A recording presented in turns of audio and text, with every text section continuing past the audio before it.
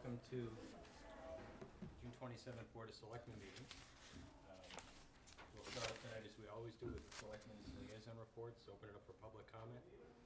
We'll hear from our uh, town manager and assistant town manager, this evening, Matt Kraunelis, our Director of Administrative Services. Uh, In terms of the subject matter for tonight, we have a hazard mitigation plan that was distributed that we'll review and adopt tonight. We'll talk about a change of officer at uh, Anthony's Coal Fired Pizza. We'll open up discussion around a sen, excuse me, a cell tower project. To wit, the scope, the uh, potential public process, et cetera. Look at DPW policies, talk about a uh, debt sale that the town was successful in recently, achieving um, some very low borrowing costs. Um, Propose to extend the sunset clause for the Climate Advisory Committee to the end of this year. And then go to the subject matter of the VASC, which I think met yesterday. Is that right, Dan and Barry, you guys? Uh, Number of new appointees and um, incumbents for boards and committees. We'll do an approval of minutes, and then barring any other uh, topic, um, we'll adjourn. With that, I'll open for uh, liaison reports to my right. Mr. Halsey. Uh, I have nothing for this time. Dan? Uh, no report, Mr. Chairman. Barry? A couple of things, I attended the library uh, trustees meeting uh, last week. Um, And actually, a lot of stuff that I was gonna talk about, they sent to us in this little packet. A lot of the activities that are going on this summer, the place is packed. Um, They're doing a lot of uh, new programming, bringing new people into the library. Um, They have raised a lot of money from uh, donors, which is a good thing. Um, And uh, so they're really, um, they're really cranking. One thing that will, um, One conversation, guys. um, One thing that they asked us to look into um, for maybe per- perhaps November town meeting is to tweak the, um, uh, their, their fund, which, um, as you recall, they, they're able to collect fines and things that goes into their trust fund. Um, The way it's situated right now is that they are only allowed to spend it on materials, but a lot of the funds that go in there um, are for, if people use the, the copy machine or things like that. Um, So they can't spend the money on some of the things that they have costs on, they can only spend it on books and materials, so they've asked us to take a look at pote- potentially tweaking some of the uses that are in their fund, so. um, I Hadn't had a chance to talk to Bob about that, um, but seems like a reasonable request. Um, The other thing, um, I did, um, with Dan, attend the VASC, we'll learn more about that later, tons of new appoint, uh, tons of appointments, reappointments. Um, And then also, last week, I attended, actually with, uh, with Chairman Arena, uh, a meeting here in this room um, with the rabbi from Bedford, some of the people from HRAC and other folks around, just sort of beginning to come to terms and dealing with a strategy for um, some of the graffiti, the swastika graffiti that's come around town. So that was a a preliminary meeting, a lot of good ideas, a lot of energy in the room, a lot of positive stuff um, that I'm really excited that, that, you know, that we're trying to tackle as a town. So um, more on that as it unfolds. Good, thank you. Andy? Yeah, so, uh, thanks, John. So I um, liaison to the Climate Advisory Committee and the Town Forest Committee, both of which met uh, week before last, and I was out uh, for surgery, so I couldn't attend, but I contacted the chairs, and they gave me brief three, three bullet point items that, uh, of what they're up to that I think the board might be interested in. The, you know, the Climate Advisory Committee is going over the plastic bag uh, regulation possibilities. And um, at their meeting, they went over what other towns have done in this regard. The chair of the Climate Advisory Committee met with the chair of the Bylaw Committee um, so that their two committees can coordinate better on, on these bag regulations, however they develop. And they have a pretty aggressive timeline. They're going to be working hard uh, this summer to have, by, I think, the end of the summer, a proposed bag bylaw. Um, The Town Forest Committee reported in um, that, you know, they have this project about dog etiquette in the town forest. And uh, they are going to try to educate the public by, uh, through, through an RCTV program that will focus on dog etiquette in the town forest. Um, Order etiquette. Owner etiquette. or- or- Yeah, yeah, I guess, right. Dogs will be Dogs are dogs. fine. Blame it on the dogs. Um, The, they also discussed some work that, they have a con- uh, consulting forester uh, doing some work for the town forest. I think we all heard about that. They discussed that. Um, And they are deferring, ch- uh, something of interest to, to campers perhaps. They're deferring charges of fees for the use of the town forest at this time. They need to resolve a nu- number of outstanding issues before they move forward with that. Um, I also attended a school committee meeting, um, and was, was the only selectman there, so I'll just, uh, it was interesting because it really, uh, confirmed what you all were saying. Um, when can they get us a number of- to help with, you know, us develop an override? And they looked at it eight ways of Sundays, and, and it kept coming out mid-January, just like Bob had, had noted. Um, Mid-January, mid-January, mid-January is about the soonest they can come out, up with a, a, a good number that has the precision and the reliability that John had mentioned, that the voters are gonna be looking for. Um, So, that was interesting. That's it. Uh, For myself, in addition to the, um, the meeting with the Clergy Association and Rabbi Abramson, um, I also met with uh, the Reading, North Reading um, town managers and the subject of MWA and water for North Reading. And then on the 20th, I met um, with the FinCom and Bylaw Appointment Committee and appointed the uh, 2017 appointments, which would expire in 2020 for both those groups. You have a full vote on both? We do. Okay. Any new people? Uh, No, both incumbents, both re-up, so there'll be some familiar faces. There were three on FinCom, I think. Did all three? Um,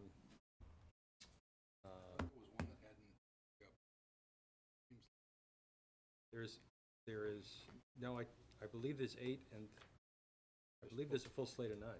Okay. Um, With that, I'll open up for any public comment. If you have a comment, please stand and give us your address. Mr. Brown? Uh, Bill Brown, 28 Mile Road, member of the uh, Cemetery Board of Trustees. Board's information, our new director has submitted his resignation, so we're going to be looking for a new director. Apparently, the pay is not enough to run through, that he wants to run three departments. This is. I'm sorry, Yes. Our cemetery director is leaving us. okay, Thank you thank you, When Bill. did that yesterday? What's that? Yeah, very soon. I think yesterday we got the letter. He- He talked to the board tonight, and I guess he's given his resignation, Okay. something like. My took- visit to say hello wasn't that productive. It's hello, goodbye. Like everybody else, John, uh, money. He was, he took a thirteen thousand dollar a year cut to come here, so. Very good. Any other public comment? Nancy? Um, I'm gonna give this to Caitlin. Nancy Docktor, three seven one Pearl Street.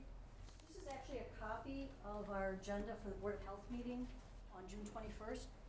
And I'm giving it to you because I was confused how it triggered sending a police officer to our board meeting. Um, to the best of my knowledge, there was no, um, uh, I guess, sharing with the board any imminent threat to public safety. So you cannot see the officer when you look at our tape of our board meeting because he actually stood behind the board members. Um, while this is confusing, my biggest concern actually is the fact that the health department has lost three employees in the past six months. Our health agent, our long-term inspector, who I believe spent her entire career in Reading, and most concerning, our public health nurse less than two weeks ago. We've reached out, the board, to both of our liaisons to ask that you do some outreach to our health agent, to inquire as to retention. I would ask the board reach out to all three of these employees, because not everything is actually related to salary in terms of resignations. Um, it's a serious concern about retention, and I would ask that the board, um, identify the problems and come up with some type of solutions. Great, thank you, Nancy. Any I could, uh, Dan? That, that is being worked, but we may not be replacing all those positions with people. We may be looking at consultants for at least one of those. Excuse me. So we are considering all that. All right, any other public comment? Yes? Um, Michelle Sampe, seventy-five Glenmere Circle. Um, I actually, I had a request and a question. So the request is, I actually watched the end of your meeting two weeks ago. I had to leave, and, um, the discussion that you had about the, the, um, timeline in Right. regards to the budget. And then I watched the school committee meeting, Yes. and my takeaway also was January nineteenth is pretty much the earliest. So my request is um, for your board to consider voting to commit to the April 3rd um, ballot question so that the community knows that the override is a definite. I completely understand that the whole process you have to go through to determine a number is separate from that.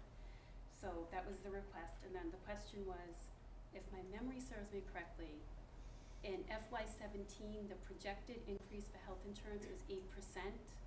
And I'm wondering if that actual increase has come in, and we know if it's over or it's under? I think Bob had the number, and I don't remember what he had in his head. Do you remember, Matt? I think it was a a little less than that. Yeah, but not much. I But- think- But not seven point something. maybe. Right. It was Yeah. close. So it came in pretty close. Right. Um, to, to the first point, I think January's still far enough away where I still have hope that between now and then we can find a way to squeeze out a week or two. It's a little hard to project with any sort of accuracy what's gonna happen in six months. And, but I understand entirely there's a schedule, there's a process, and it's out of our control, but we can provide some encouragement and who knows? As we said, it only has to be approximate. Um, But my request is that this board, because you're the only board that can vote to put, put it on the ballot as a question. So right now, it's a maybe override for April third. If your board actually takes a vote and your board does vote that it will definitely be a ballot question on April third, I think that that's very helpful for the community because then we don't, we don't wonder, like, is it going to happen or isn't? I think one of the reasons we've come out so quickly with the uh, schedule is to convey to the public that we're quite deliberate, and this is, this is, um, our intention is to drive forward on that schedule. So while you may want the certainty of an announcement, I- the conclusion is we're working along those lines to get to that point with the certainty and the precision that the- this- the folks are gonna need. The certainty is the closing of the warrant, that's not gonna happen.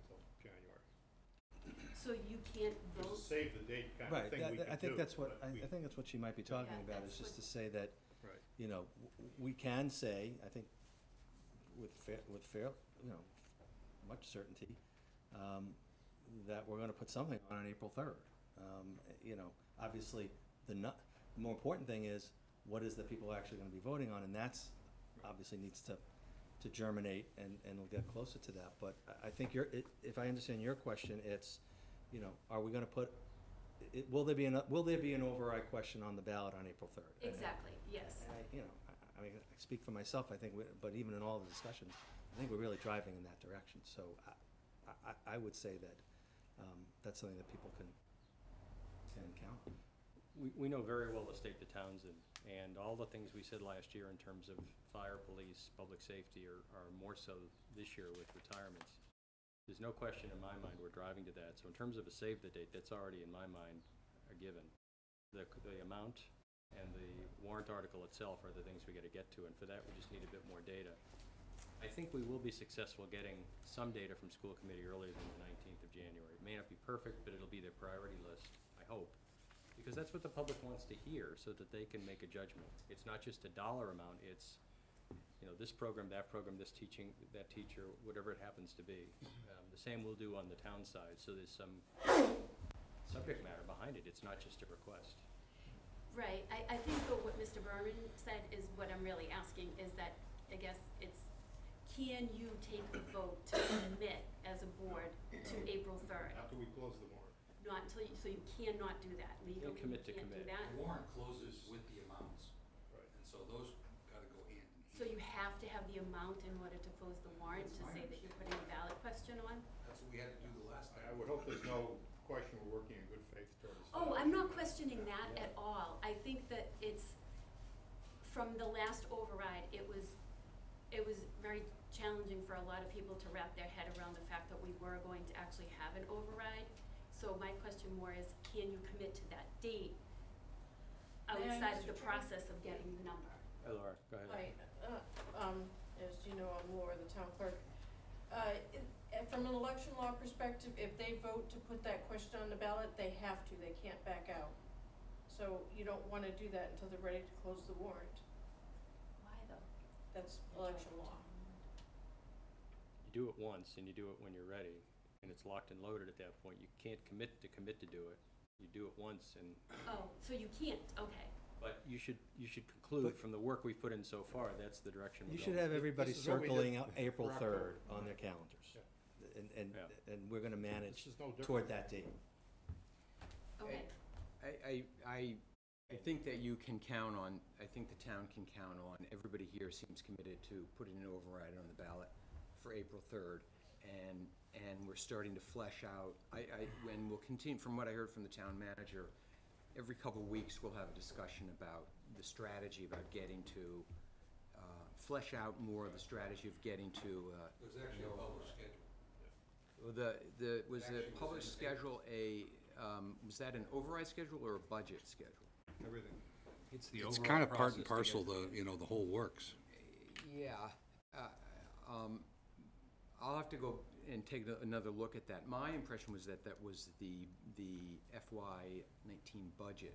It is, schedule. but- but that, than. And but that that- has to complete to get to the Of override. course, I under, I, Yeah. I totally get that, I totally get that. But I think to, um, Michelle's point that mm, pe- people are looking towards an open, um, strategy for an override, an open process for a strategy towards an override, and I, and I believe that's gonna happen. I mean, the town manager, uh, sort of steered us in that direction by saying at the, at the end of the last meeting, when everyone had pretty much gone, uh, that that the, the topic will come up every couple of weeks. It's gonna be something we're gonna have to be hammering away at. So when the school committee does come out with a number, we're ready to, to, to go Ready to go. forward. I didn't, I didn't realize that you had to have the number to commit. I didn't know, like, I understand you can't commit to commit. Right, thank you. I think I confused everybody.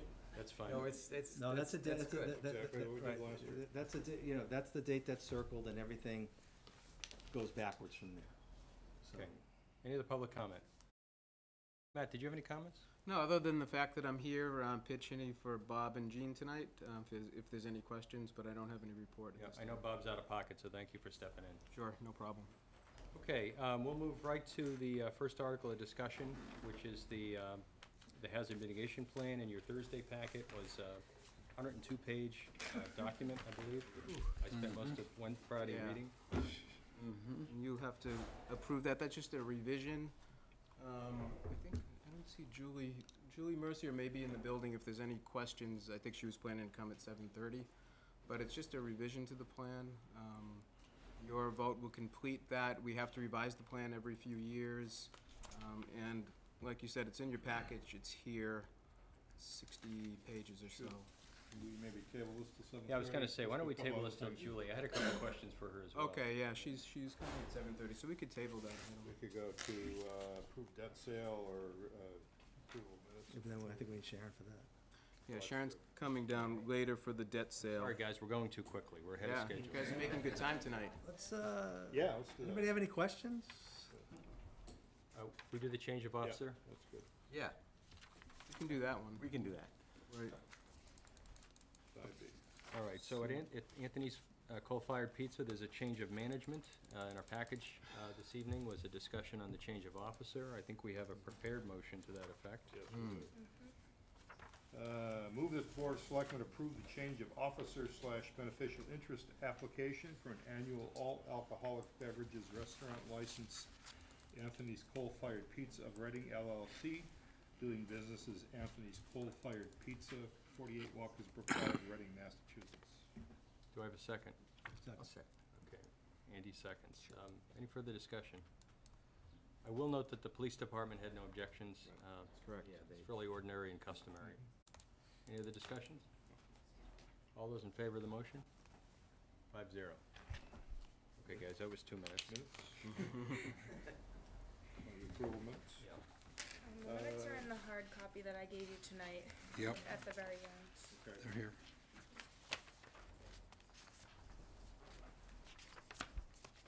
Need a second to punch? Uh, Just a question, a couple questions on the minutes, I speed read them. Um, And I, and just some um, probably typos on the third page. Um, Under the human rights resolution, the first paragraph, Mr. Arena read the preamble and noted that it would be, I think it's placed before the board. Um, there's a D there. Small thing. And then the, the paragraph after that, I think he said it would be, Mr. Berman said it would be more effective, not affected. Although it could be affected too, I suppose. But I think effective is probably. Effective, yeah. Um, those- And then the, the last thing I had, sorry for jumping in, John, I should have waited to be recognized. uh, Is at the very end, we had a brief, maybe five-minute discussion on, um, Bob walked us through the, the budget slash override um, schedule, and so there was a little discussion about that, that's not in the minutes. And then also about, um, now, of course, the name of it is skipping my mind, the lottery. Um, Oh, that- Ke- Lo- um, uh, Keno, Keno, there was a s- brief discussion about that, if that could be added in. Um, And that's all, I- that's all I got. Uh, the motion on the, uh, There was a Bring it motion on the Keno, too. That was, It was- so this is two weeks ago, not last week's. Right. Ah, There was no Keno in okay, that one. all right. There Four was a- weeks ago. There was a, there was a Four. please add Keno to oh, the yeah, next you're right. agenda. Yeah, yeah, Oh, But the okay. actual Keno vote was last week's and these are Yep. from two weeks ago. So this is two meetings ago. Yes, This is too many, I retract this those. is May and they're- 30th. That's irrelevant. I'm slightly behind on my minutes. Page three of the minutes, uh, Yep. the vote to pass was three two, not three zero two. Did you guys abstain or vote against? They opposed. I thought so. This Any is chance to get- opposing. Any chance to get these minutes in the packet on Thursday? Yes, I just wasn't done with them, that's why they were here. All right, thank you. And- And actually likewise too, uh, above the, uh, on Mr. Berman's 221. amendment, it was, it was 221. two-two-one. It's four against abs- abstain. That's Right. correct, yeah. two, two, one. That's the English system where the abstentions are in the middle, yeah. Have to ready write the dates. Any other uh, proposed changes to the minutes? No. If not, I'll, I'll, uh, all those in favor of the minutes as amended? Five zero.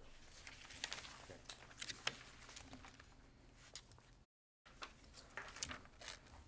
Julie's here? Okay. Julie, um, Hi. we're Yeah, just- sorry to keep you we're waiting. way ahead of you. No, we were ahead of you. Um, Let's see, we were talking about the hazard mitigation plan. And did you have any formal presentation tonight? I do not have a formal presentation, but I'm here to answer any questions.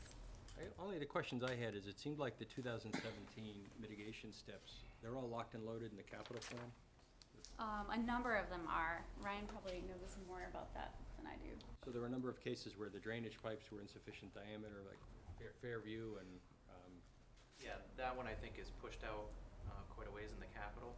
I thought it was this year. Uh, It's in table twenty-nine. Uh, I think it's like page ninety or something. I'll try to find it. Um, I was just surprised at how many um, capacity issues are kind of distributed through the town. hmm. Page 90, you said?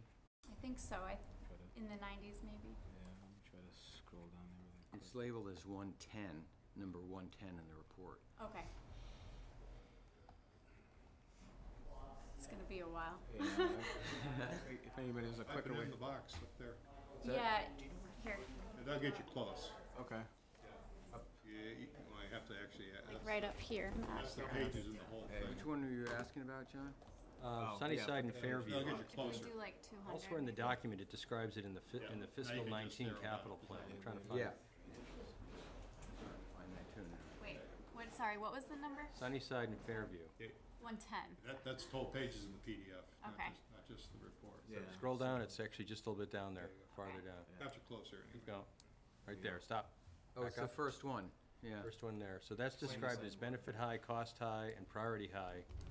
And I saw elsewhere, and I'm struggling to find it now, that it said 2017 in this document. And this table says, or the table just following this says 2024.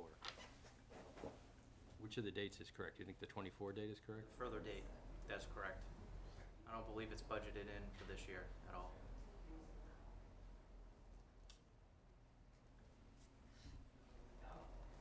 That requires an extensive study on that capacity issue. Or to for S- Sunny, Sunnyside. Primarily to match the capacity, so you don't put a bottleneck downstream? Um, that drainage in particular needs an increase in capacity, I think to, um, maybe sixty inches or so. That's, what- we haven't designed it yet, but that's, I think, what it's calling for. The only other question I saw is on page one, I'm sorry to say, but there was a, there's a typo. Um, if I can go back up there. It's that. If you go to the page mark number one, which is physical page nine. Um, so just type nine in that box, go to the bottom.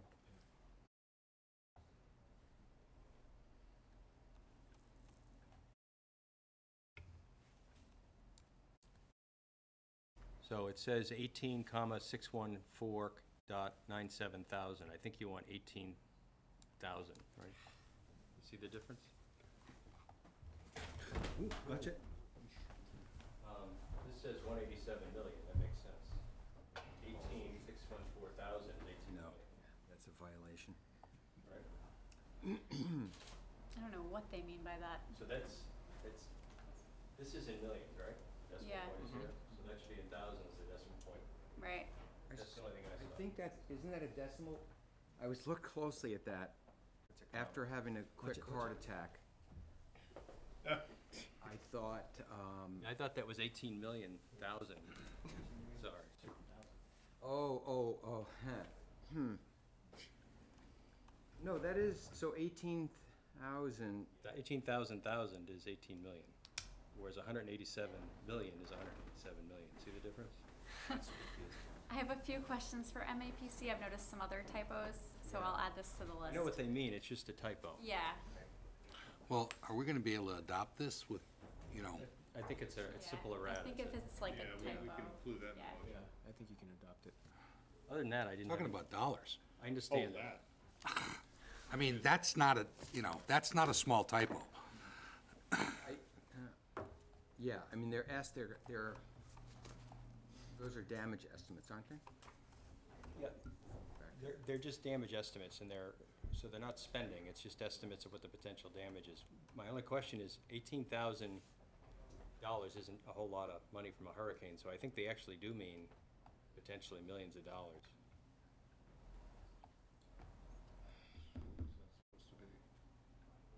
See, It's just the units of measure are kinda weird. I think it should be So- eighteen point six million. So that is, I think, eighteen. I think, point- I think that it's probably 18 hundred and eighty-six million. Well, no, That's not wrong. It's up by, it's up by, Yeah, okay, got it. I mean, as it's, uh, it's the same units of measure. Yeah, yeah. Got it. I think as it stands, it's eighteen, eighteen point six. Narrative is very weak. But, but, but, yeah. Uh, it just is. In the next paragraph, they use million and they mean it, and it makes Right. sense. Yeah, Just no, use the I- same one, I couldn't follow what they were I- trying to say. But that, that's all, that's the only comment I had, I went through the whole document, it took me two and a half hours to go through it, so. And there's some repetitive. There, there are you several sections, particularly where you talk about the weaknesses where it's repeated, is, is Yeah. it- is that by intention? I didn't, It it appears to me to be a Um, cut and paste that It was does. going on here. yeah, And, and, you know, um, I mean, we're asked to adopt the plan that they're presenting, and, you know, they're cutting and pasting and not proofreading. right, and I would just like to clarify that MAPC, like, did ninety-nine percent of the work on this.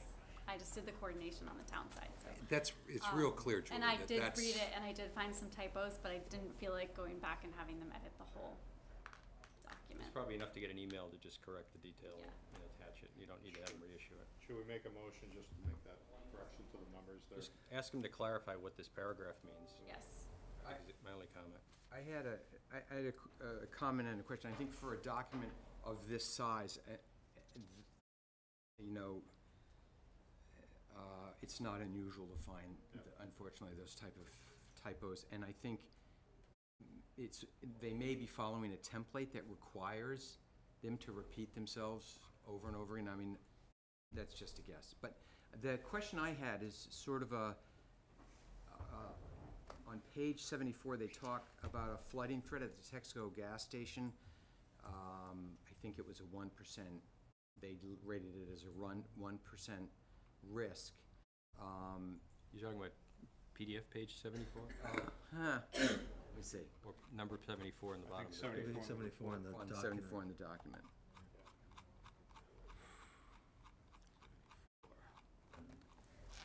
Yep.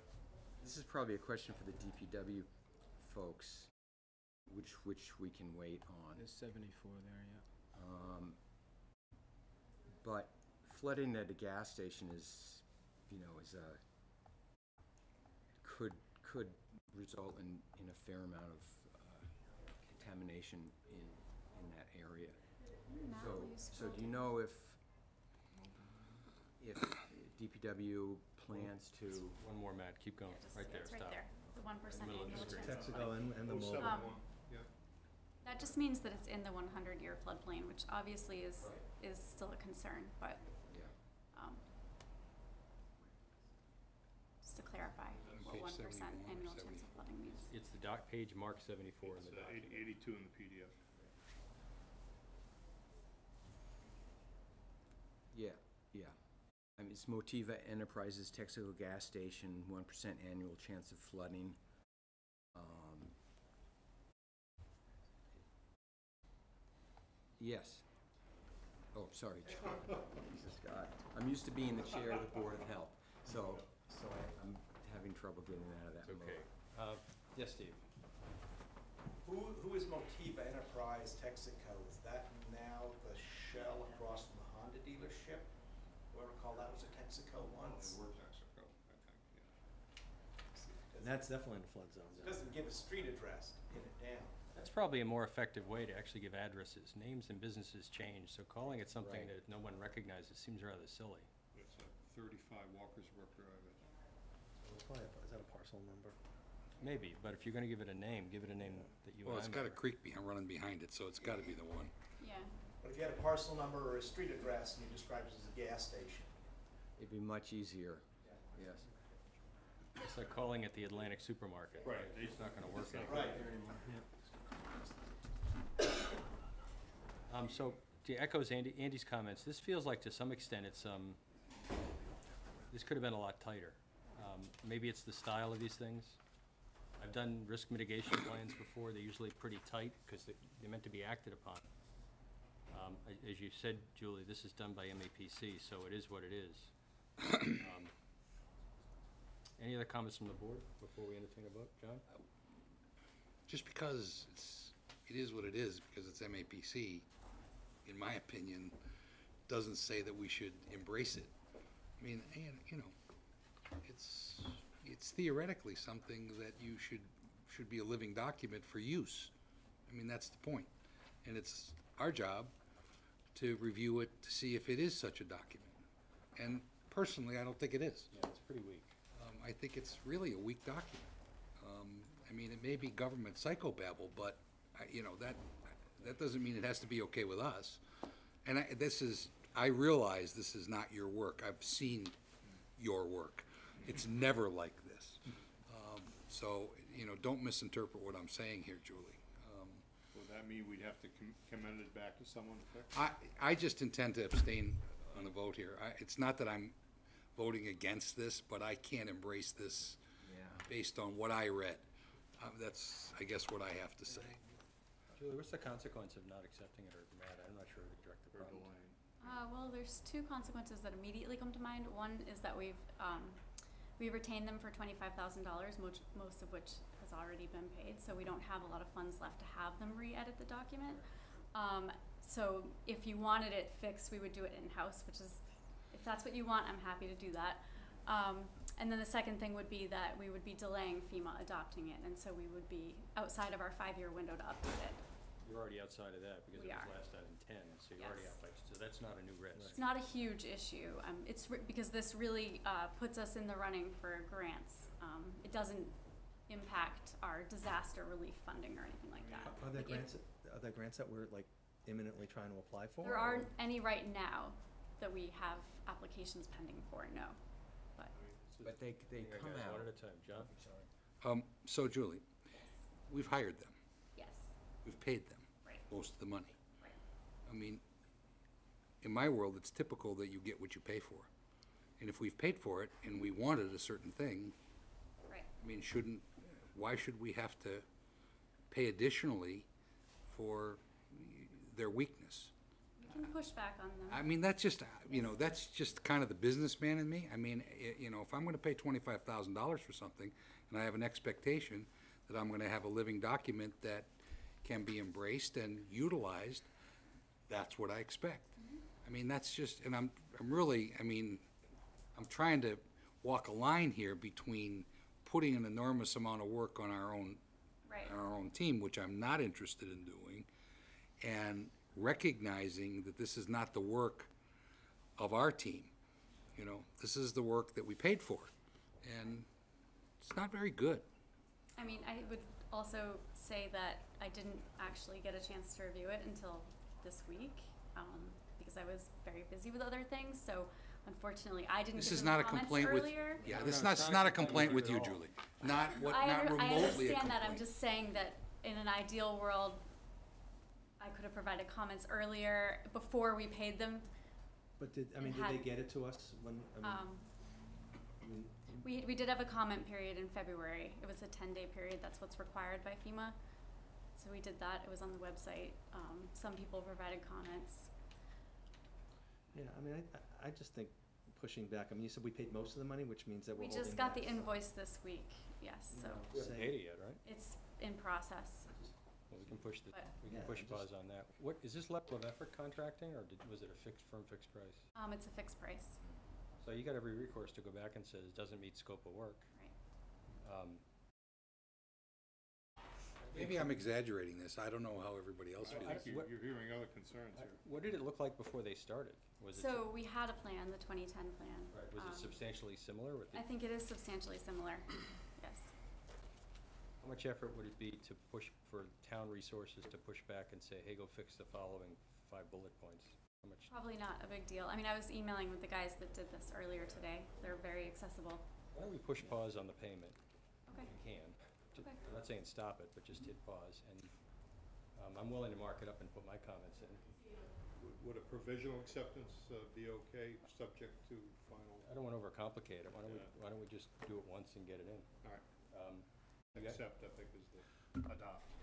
Um, I have my own comments, which I'll edit and send to Julie and to Matt. I don't know if the rest of the board feels similarly. Yeah. Um, why don't we do that by, I'll say as amended. um, why don't we, why don't we do that by, um, our next meeting at latest? They'll, be- in other words, Mhm. they'll be in and, and ready for review by All right, our next. So you don't wanna do the motion tonight. Um, I don't know how you accept something that's subject to being amended, right? We do it in minutes, but we do the changes on, Yeah, but But the you amendments already are have, known. you already have the amendment in there. Amendments are known, Yeah. so You're I'd be, right. I'd be inclined to pass on that. Okay, Any other An ex- comments from the An extra board? two weeks is not gonna make Yeah. or No. break I it. agree. No, and we just don't wanna miss out on any grants, but I, I doubt there's any grants coming. I mean, is anything looming that you wanna do in the next two weeks? Not related to this, no. I, I- There's always oh, something Mr. Chair. There's always something looming. I agree with uh, John's concept that this should be a living document. Um, It would be great, a great, a good resource for the, for the citizens. Um, I just don't think we're gonna get that out of, out of this process, unfortunately. Well, but the obvious error is an omission should be Yes, corrected. Yeah, yeah, yeah, yeah. I, I think this is sort of a thing that we have to have so we can apply for grants. Y- We gotta just clean it up some. I Yes. mean, it, it- look, it's not gonna get per, it's not gonna be perfect, I I get do that. think to some degree they use a template, um, as Andy mentioned, but we Like can for exam- definitely make it tighter. But for example, it just, what caught my eye was, um, if you go to PDF slide fifty-one, I was going through these tables, slides, rows and rows of tables. You Just go to fifty-one in the top, Matt. Yep. And then hit control minus minus, hold, hold, press the control key down and hit minus minus twice. Minus, minus. There you go, good. Um, I'm not sure what I'm supposed to take away from this table. It says it snowed, but there's no damage. And these are supposed to be hazards that were reported. Is it just saying, yeah, it snowed that day? Is it meant to convey anything more than that? And there's four pages of this. Yes. I just didn't know what to, and then at the end, it's got a token forty, if you go to the very end of it, it's got a seventy thousand, a five thousand dollar event, it sums to four million. I don't know what to, what to conclude of that. There's no, so what? The, these are documents that are paid for by the pound, John. I, I was, But to John's point, Spoken as a true government. I mean, honestly, John's point, if I'm paying for something, I wanna know what I'm getting and I wanna get it. I don't know what value this thing delivers, unless it's a pro forma thing that we need for, I think it may be, if- I mean, if you look at, it, if you look at a standard, uh, on a twenty-one E, uh, which you would ask an environmental firm to do about, you know, I've got, I've got one building that I wanna kinda just see what the risks are. yeah. I get a thirty-five hundred page document, which basically lists every address within, you know, a a half a mile, and it's like, what, what, I don't need this, but if that's just the format that it is, and my, my feeling is that this is this, it falls into the same. And they're required by the, the, the regulations. I don't know if that's the case for this, and some people, some poor sod has to review all of those pages at the state. Yep. Um, do we actually execute against this? Do we use it in any operational sense, this document? I think it complements the CEMP plan to some degree, but I mean, do we crack this open at any time? this is not binding, I mean, it's not binding us to any action specifically. Um, Do we crack it open? No. so in other words, we gotta buy poundage for twenty-five thousand in order to be able to satisfy some regulation that allows us to apply for grants. That's really what this is. So in other words, they put a gun to our head and they say, pay twenty-five thousand dollars and you do this, and then you're allowed to do other stuff. Or you could do it yourself. You do it yourself, and then Yep. she can't do anything else. And I believe that there was an effort to do this in-house before I came on. Um, and it just, it was just too Well- much additional work. So that's why we went out to. So they already own the pro, they already own the, the pro forma. Right. But this was paid for by a grant, correct? We didn't pay for this. No, this was not paid for by a grant. This was not paid for by a No. grant. Paid Not for to by my knowledge, no. Because I, I, I, I thought I, I checked that, but obviously, I, I got it wrong. No, I believe it was November town meeting of twenty fifteen where the funds were allocated for this from the general fund. Yeah, the, oth- yeah, I, I'm in the same place. So why don't we take this up, have all your comments in, in time so we can review them in our, in our next meeting in two weeks, and we'll go through them then. And we'll take it from there, and we'll, uh, we'll pass on any, uh, acceptance of this document tonight. Any other questions from the board? All right, thank you, Julie. No problem. Sorry. Sorry. No, it's Sorry, not, Don't mean, I mean, you're not on trial here in any way. no, I'm, Um, I'm totally fine. Thank you very much. Thank you. I'll be back in two weeks. We can chat All right, more so then. let's schedule here. Uh, if you wanna do some of the appointments, uh, we're waiting till eight o'clock. I guess Everybody that's- that's not here, that's, Let me get back to my uh, table of contents. yeah. Yeah, I guess we could do appointments, for boards and Okay. committees. Uh, Sure. This is our annual uh, appointment, reappointment process uh, for uh, all positions that are appointed uh, by the Board of Selectmen. I want to say at the outset, we have one vacancy on each of the uh, three very, following very important boards. Uh, One vacancy full on the Zoning Board of Appeal, one on uh, Community Planning and Devel- Development Commission, and one on the Conservation Commission. So we welcome applicants for any or all of those positions. Those are very important boards who have a very important regulatory function. Uh, I'm gonna try to do these in serial blocks. There are a couple of additions I will have to what you see printed here. Uh, just take my notes from last night, we're getting, everything together here. Uh, I'm gonna add as my first, uh, the Animal Control Appeals Committee, Tina Olson. Uh, Now, when I make the motion, the understanding is it's the term for- through six thirty twenty unless I state otherwise. Okay. So move to appoint Tina Olson to the Animal Controls Appeal Committee, uh, Damas Coet to the Zoning Board of Appeals, uh, Nick Pernice to the Zoning Board of Appeals Associate position for a term ending six thirty nineteen, uh, Harry Simmons to the Board of Registrars, David Zeke to the Climate Advisory Committee, Jeffrey Everson to the Climate Advisory Committee, Associate Membership for a term ending six thirty nineteen, uh, Elizabeth Kleppeis to the Commissioner, Commissioners of Trust Funds, Barry Berman to the Commissioners of Trust Funds, and Kevin Briere to Associate Membership on the Commissioners of Trust Funds, term ending six thirty nineteen. So we'll take that block first. Okay, do I have a second? Second. Any further discussion? Mr. Chair, I just have a Yes. question. Um, Normally, do we get um, resumes for these people when they apply? or when they, they apply to be on these boards. There's an committees. application form, they fill out their Right. interest, they often include a resume or a statement of interest And or that some goes to the backstory. VASC, The and the then first time, Andy, they will g- give us a complete set of re- resume Uh-huh. application. Second time, the gentleman just returned a letter to the town clerk saying, I wanna re-up, and that's usually sufficient. We don't always call the board member in for re-uppage. Uh-huh. At the discretion of the VASC, we will call selected boards in, sometimes if there are questions we might have about, you know, So And we all, gen, and we generally interview new people. always. Right. just so about- none of these are, these are not new people? No, no. Oh, okay, so they've been doing the job already? Uh, let's, let's see, except for Jeff Everson who's moving, nope, that's right, he's re-upping, yep. Okay, And okay. Barry was just left off the list for Commissioner of Trust Funds, and he's our nominee. I, the only reason I ask is because I don't want to vote on somebody who I don't know whether or Sure. not they know how to do the job, but if they've been doing the No, job, they- then, okay. Thanks. Good question. So this is a recommendation from the VASC, who does, they tend to Yeah. vet them, so. Yep. Okay, we have a motion, we have a second. You wanna block, you do these in blocks? Yeah, Okay. I'll do them four blocks. All right, all those in favor of the aforementioned names? Five zero. If there's any questions, just please shout. All right, uh, move, uh, to, uh, to appoint Rebecca Longley to the Conservation Commission, uh, Sally Hoyt as constable, uh, Karen Goncalves Dolan and David Tuttle to the Community Planning and Development Commission, John Parsons, George Wetmore, Sandra Schaff- Schaefer, I guess it is, to the Council on Aging, and Jana Stafford to associate membership on the Council on Aging, term ending six thirty nineteen. Those are all, I think, incumbents. Do I have a second? Second. Further discussion. All those in favor? Five zero. Uh, Move to appoint Nancy Zimlak, Rosemary Lewis, and Donna Schenkel to the Cultural Council, and Ma- new candidate whom we interviewed, Megan Fiddler Carey, to associate membership on the Cultural Council for a term ending six thirty eighteen.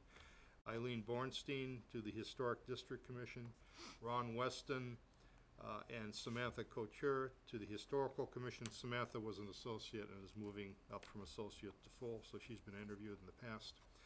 Uh, Linda Snow Doxer and Kyung Yu to the Human Relations Advisory Committee, that Kyung was inadvertently left out.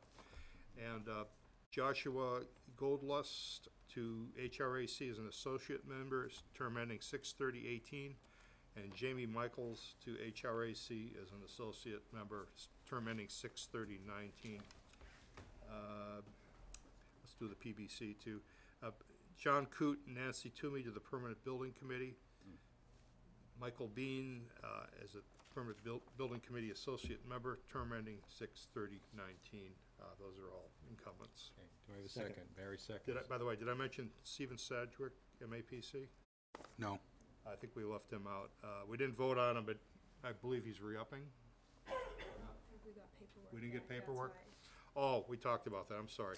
I I shouldn't have put him back. So I didn't make the motion. I don't need to put him in. Okay, Okay. we're good. Yep.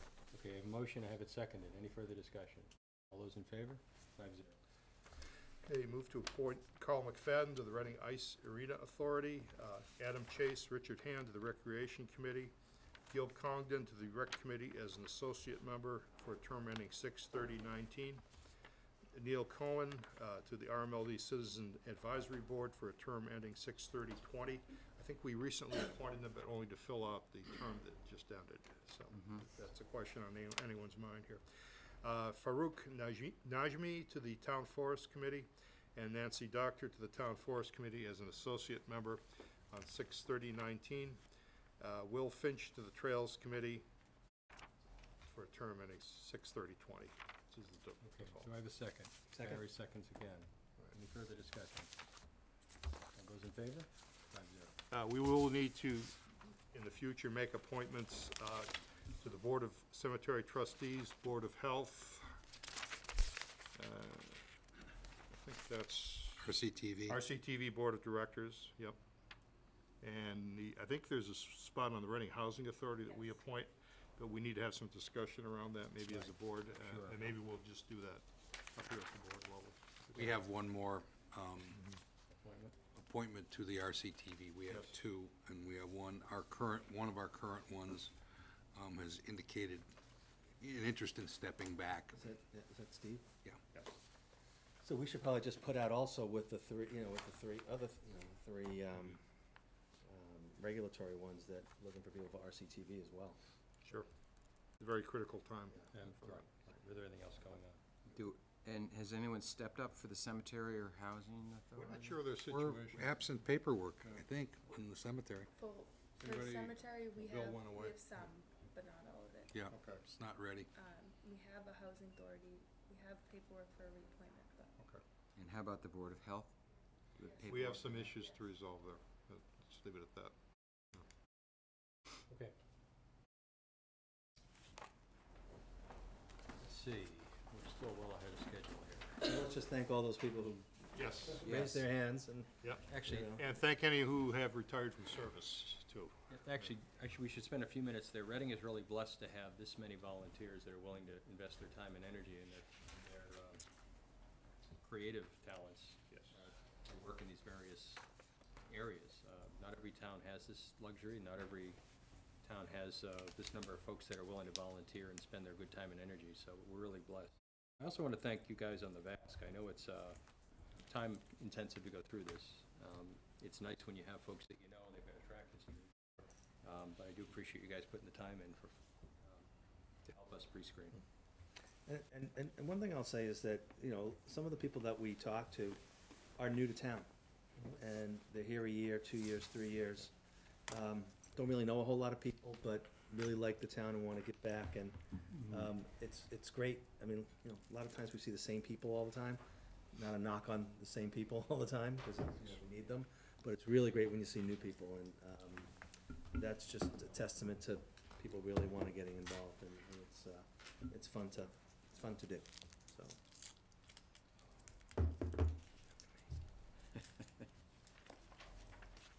Hey, still ahead of So I schedule. Have to- Yeah, I'm just trying to figure out what we can do next. How about the debt sale? We need Sharon. Sharon has to be here. We need Sharon. Oh, okay. Uh, Hold, Do we uh, wanna go get her? I mean, I'm sure I can she'll, call her down. she'll, I'm sure she'll appreciate Yeah. doing it earlier. Yeah. Well, are we ready for the DPW Yeah, why don't we do that? DPW policies, are we're way out of order. Actually, is Jeff here? right We have the right people here? Yeah, well, um, Jane Kinsella is here and Ryan, um, is here, at the town engineer. Um, Jeff Zager could not make it tonight. Okay. But he, they can discuss the policies for us. Sorry to do this out of order, guys. We're way ahead of schedule and, uh, which is rare for us. We all want to get home early. It's because Bob's not here, I bet. It must be him that makes this. He never says anything.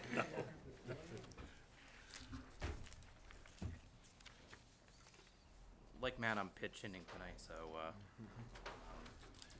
just we- briefly, I believe you've received the memo for the, the policies and I'm the, trying to find it in my packet. Know page it is in our Thursday package? So I can- I think it's buried in the packet. I was trying to look for it. I can just give you a brief uh, background of, of how we got to this point. Um, I'd say back in mid-2016, um, DPW staff have gotten together also with the collector and DPW director, assistant director, and myself to discuss some fees that we had some issues with. Uh, Also, some small um, abatement policies that we had issues with. And when we got together in a group and we started talking about these issues that we, we had, it became a sounding board to more problems and issues and policies and procedures that we haven't addressed in decades because uh, we just hadn't. Uh, That being said, Reoccurring theme. we've had several Not just meetings. with you. And um,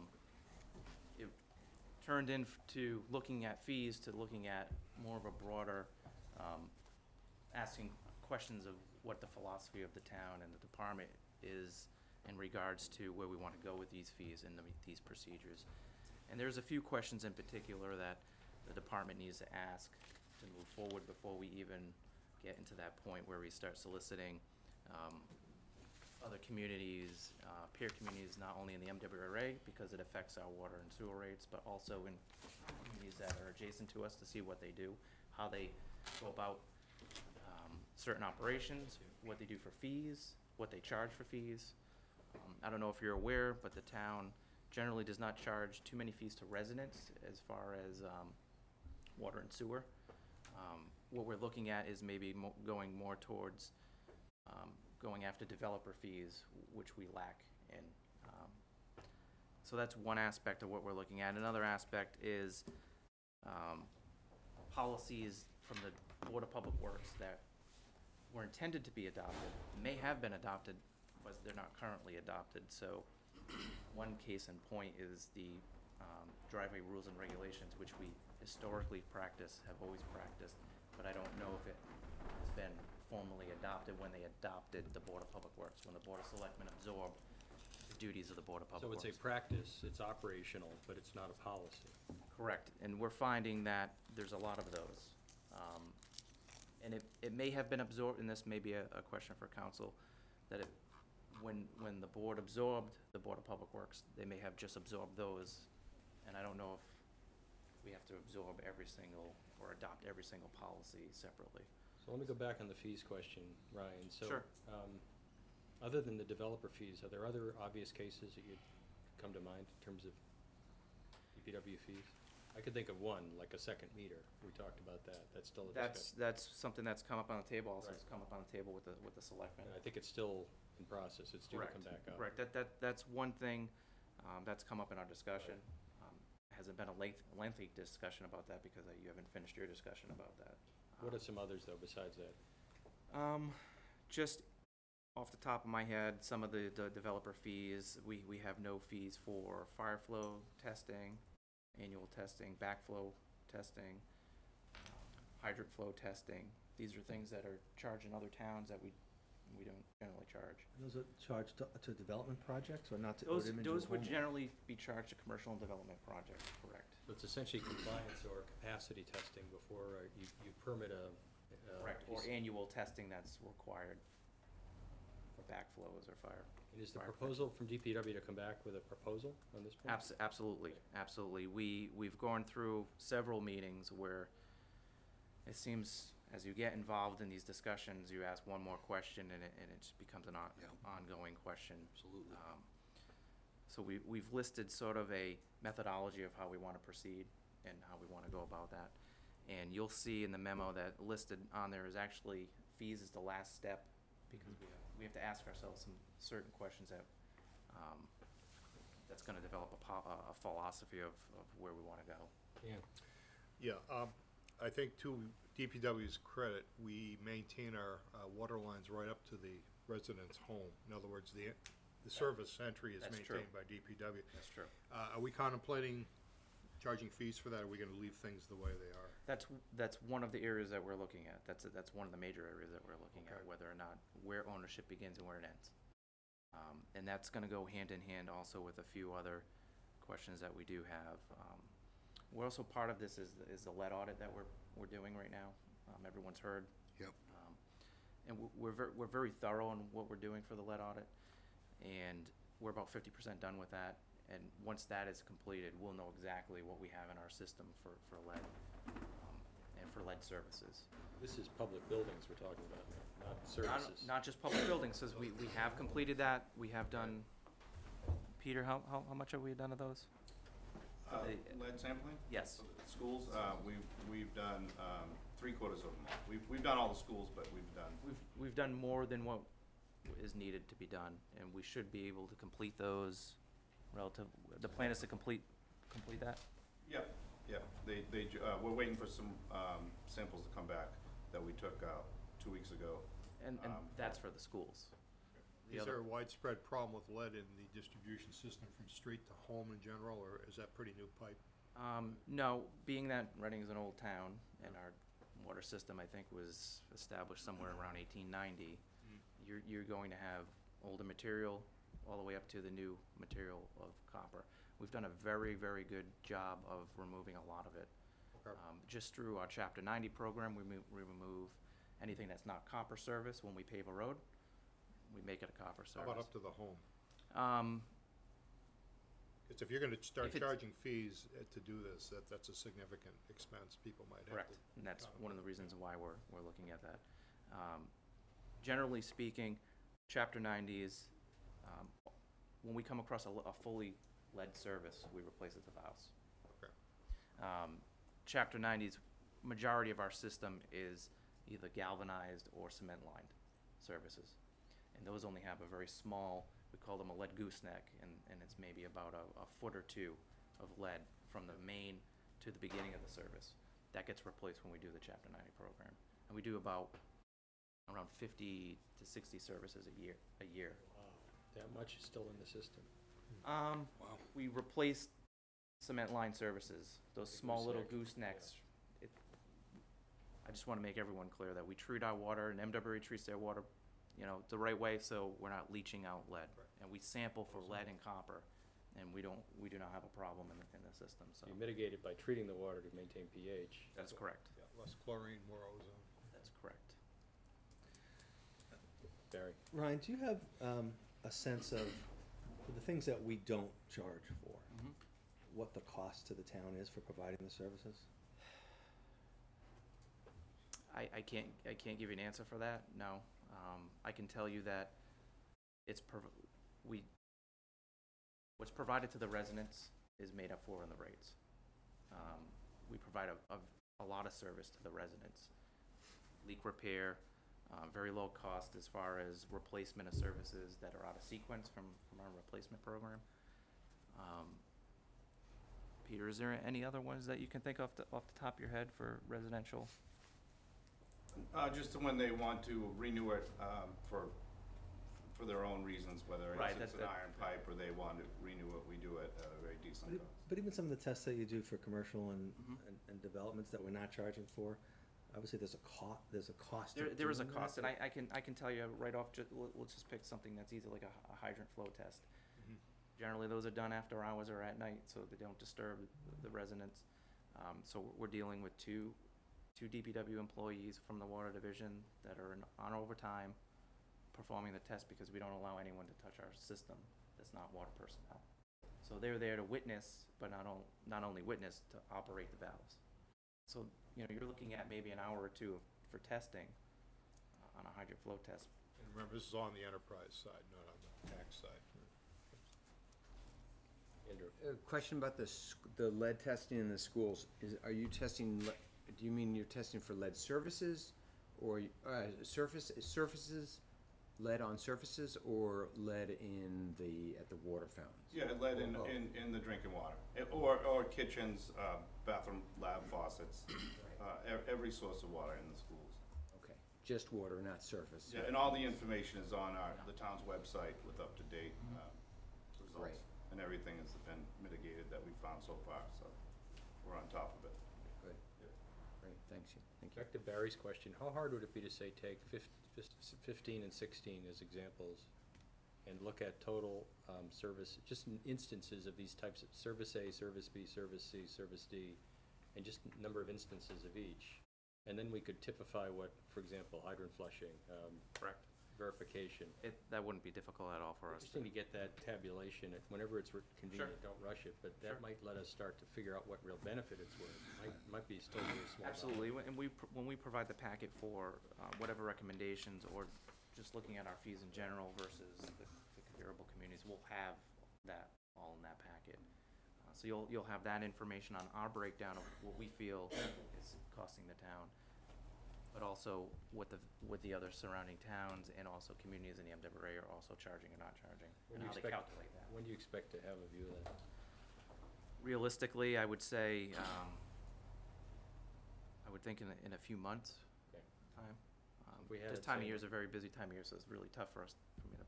We had it in the fall, I know we're gonna have budget and all that other stuff, that might be an interesting topic to cover. I think- I 'cause think it'll roll shooting into for the- Budget discussion. I think shooting for the fall, I think that, I think that's realistic, I think we can. It's an important piece of information, that question that both of you have raised, I think, particularly in light of all the other things that are, you know, going on in town around finance and budget. So, um, Even just we, we cover, I mean, I know it's on the enterprise side, so it's not, it's not on the tax rate, but it's in the water bill. It's, if it could save, you know, a couple of cents on the water bill, but, you know, They're user fees as opposed to a general, ben- generalized benefit. These are um, incremental tasks where citizens are asking us to do. There's a fee attached to it, right? yeah, I mean, if that is, you're doing fifty of those, if that's a big number, if that turns into a big number, I mean, if that was a pass-through, Yeah. and all of a sudden, Are you everybody's referring to the renewal of the services for the chapter ninety? Talking, so, for example, um, the work that you do on a homeowner's property Mhm. from the street to their home. Okay. Currently, we're absorbing that. Correct. So, I mean, so you look at that, for example, and you say, okay, it's a big number, it's a small number. I, I, I don't have no idea what the number is, and I'm not asking you for the number. Um, But everybody's paying for that. Right? If they're requesting the renewal, uh, the, the, the cost is on the homeowner, from the street to the house, if they request the renewal, if it's But if of- it's damage, If it's damage, if it's a leak beyond repair, whatever is determined by the water supervisor at the time, it's replaced by the town. by the town. So you're correct in that instance. Right. Uh, The only reason I bring it up is, look, people want to know how their money's being spent and how they're spending their money. And I think it's important for us to, you know, be as clear with them as we can. I realize that because it's an enterprise side rather than a real estate tax side, I mean, you know, that means it's in the water bill, but that's everybody, you know? I mean, whether you're a homeowner or whether you're a renter, I mean, it, it's everybody. So when you start to, people have made us feel like we need to look under, you know, we need to lift up every rock and make sure that, you know, everything under there's being handled the correct way. And so I just, you know, this is occasion to, you know, to maybe look at that. Because, you know, I've been working with Bob on some of the other policies. I know just what you're up against. I mean, Matt and I and Bob and Gene sat down and, you know, we spent three hours just with the clear red flags that were flapping in the breeze before you could even, and we didn't start asking questions. But once we did, I- you're, I can get of where you're worms. coming from. I mean, it is a can of worms. um, This, because this we inherited from an elected board's policy back in the day, right? So, Well, all of them really, but this one specifically is an elected board that was folded in, so. Who, who knows what had happened through the years after it was absorbed by the selectmen and what had happened, Or why, why? you know, Um, it's- It, it is hard to write good policy, I will It is. say that, even elected or unelected. This is good work, Ryan. I'm looking forward to what you come back with. To John's point, we're looking at uh, fees for user services for fire and emergency transport. We're looking for fees for town forest. We're looking for fees for parking. This is another area that's an opportunity that's Right. proportionalized to whoever's getting the benefit, so. Just to be clear, we have started searching and, and seeing what other member communities. Right, you mentioned that. I'm curious to see what that is. So, I mean, we, we have gone down that road, and I think it's reasonable to say that we'll have something available in the fall. Good, thank you. Any other That's questions? great. No, I think this is really a great discussion. I mean, you've opened it up, you know, a good discussion here. Thanks. Thank you. Thank you very much. Thanks. Okay. I think we can move to the cell tower. Do we have a, this is not a public hearing. We don't have a notice. Uh, not technically, no. It's a public process, not a public hearing, right? I think I need to read that. I will if you'd like me to. Please.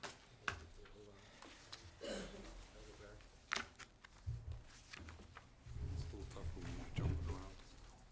I know. Okay, we have a public notice. This notice is to inform you that the Board of Selectmen will be having a preliminary discussion regarding a proposed cell tower adjacent to the Auburn Street water tank. This item is scheduled to start at eight o'clock PM on Tuesday, June 27, two thousand seventeen, at Town Hall in the Selectmen's Meeting Room. The town is proposing a cell tower to help address many issues, including, but not limited to, replacement of the water tank, overcrowding and structural deficiencies to the tank due to the cellular, cellular equipment, safety hazards, increased public safety coverage, and poor cell coverage. The intent of this meeting is to discuss the scope of the project, possible timeline, participants, including public safety entities, and involvement of the public. The abutters have been invited and are welcome to attend. It is important to note that this is one of many meetings open to the public, and the selectmen will not be taking a vote on this item at this time. Um, Before we open up to public comment, any of the comments by the board in terms of what was in the package? Uh, is- Is there gonna be a presentation of some kind here? There is no formal presentation. Okay. This is Just a Discussion. roundtable? Okay. But this is a follow-up to the presentation that Right, if We you didn't remember. gave us. That's true. we- Remember in- in the fall, Yeah. I believe October or November. So to refamiliarize myself, we have maintenance issues on the tower, Correct. on the, on the water tank. Correct. Um, just some brief background, and I'll just, just, everyone can remember what uh, we're dealing with here. The, the tank is, we're at the time where we have to repaint the tank. We're actually past that time. Something that should happen every ten to fifteen years, and we're way past due. That being said, in order for us to paint the tank, all the cell carriers have to come off the tank. Um, in the discussions that we had had prior, um, we also thought it would be a great time to look at a life, cy- life cycle cost of painting versus a replacement of a tank. We shortly learned, right around year fifteen, that's the break-even point of where we would have to paint again and the crossover of a new tank. So, long story short, the, the, we've decided to replace the tank. It, it just makes more sense at this time. Um, that being said, we still have the issue with the carriers on the tank. Um, we've discussed for numerous reasons why we would like to have the carriers off the tank. One, for maintenance in the future, that's the obvious one. Two, there's a lot of deep, uh, DEP regulations that require us to have personnel with the carriers when they wanna go and, and work on it. go. We don't wanna have that happen anymore. We have structural deficiencies on our tank due to the carriers overloading our tank and overcrowding. There's OSHA violations with overcrowding of the catwalk. There's corrosion issues where you have dissimilar metals, uh, touching and, and bracketing. And there's a few other reasons. We have- Security, I would think. could be Security is one of them, too. one of the ones that I alluded to with the DEP regulations. And also, I mean, we have poor cell coverage in town, that's to be noted. Um, Not a driving factor, but it is a factor. We also have the factor of increased public safety, uh, radio, which we would, that would increase public, public safety. And the public safety antenna, if I understand it, is at the direct top of the tower, the hardest one to get to. That is correct.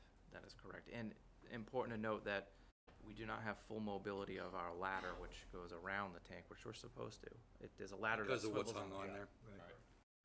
Um, so there's a lot of issues, a lot of issues.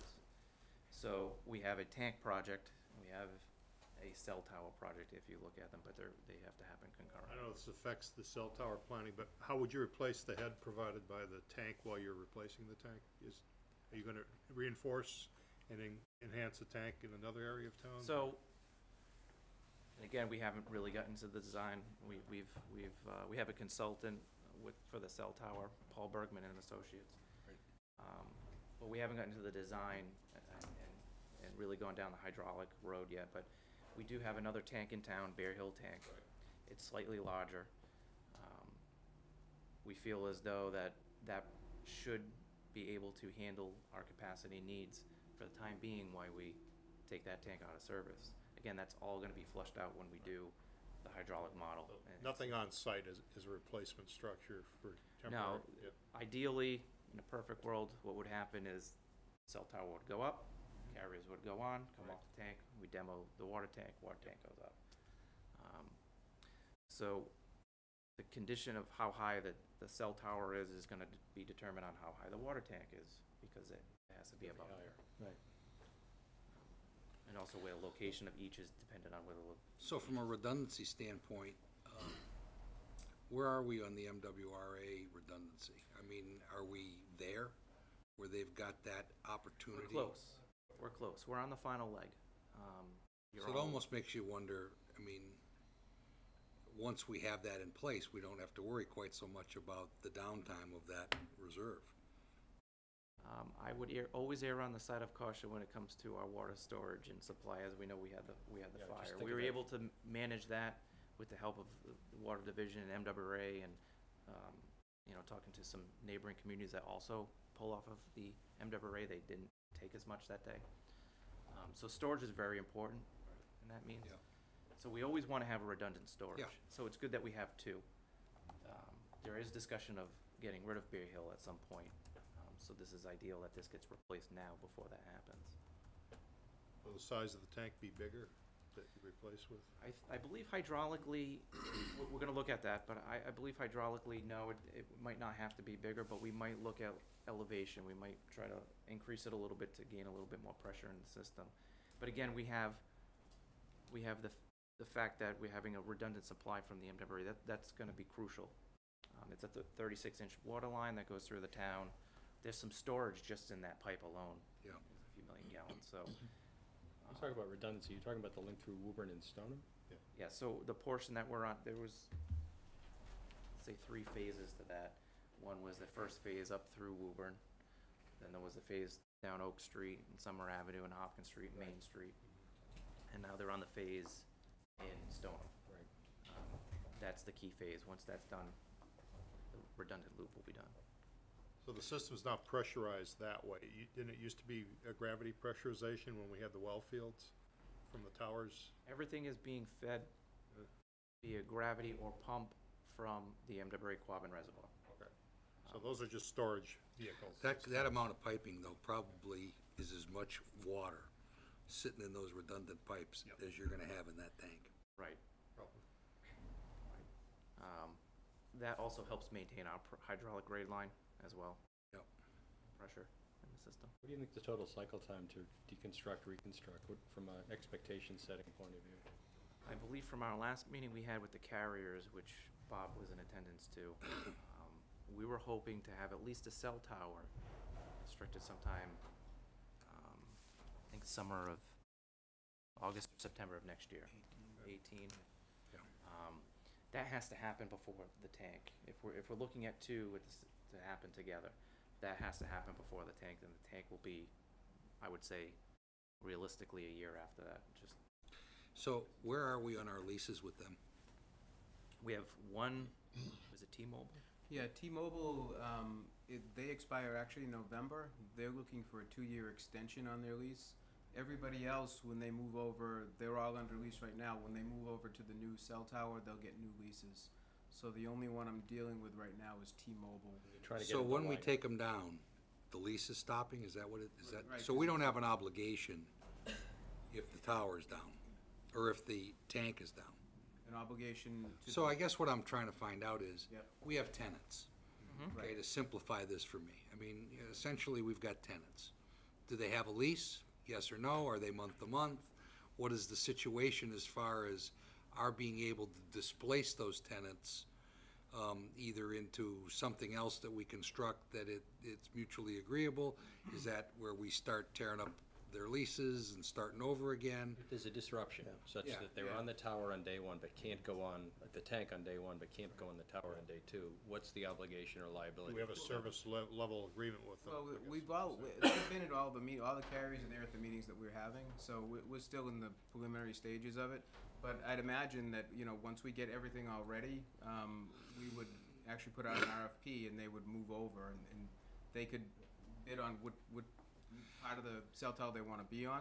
But until then, they're, they have long-term leases. Yeah, so they, we're obligated to them. Yeah. What happens if that's interrupted?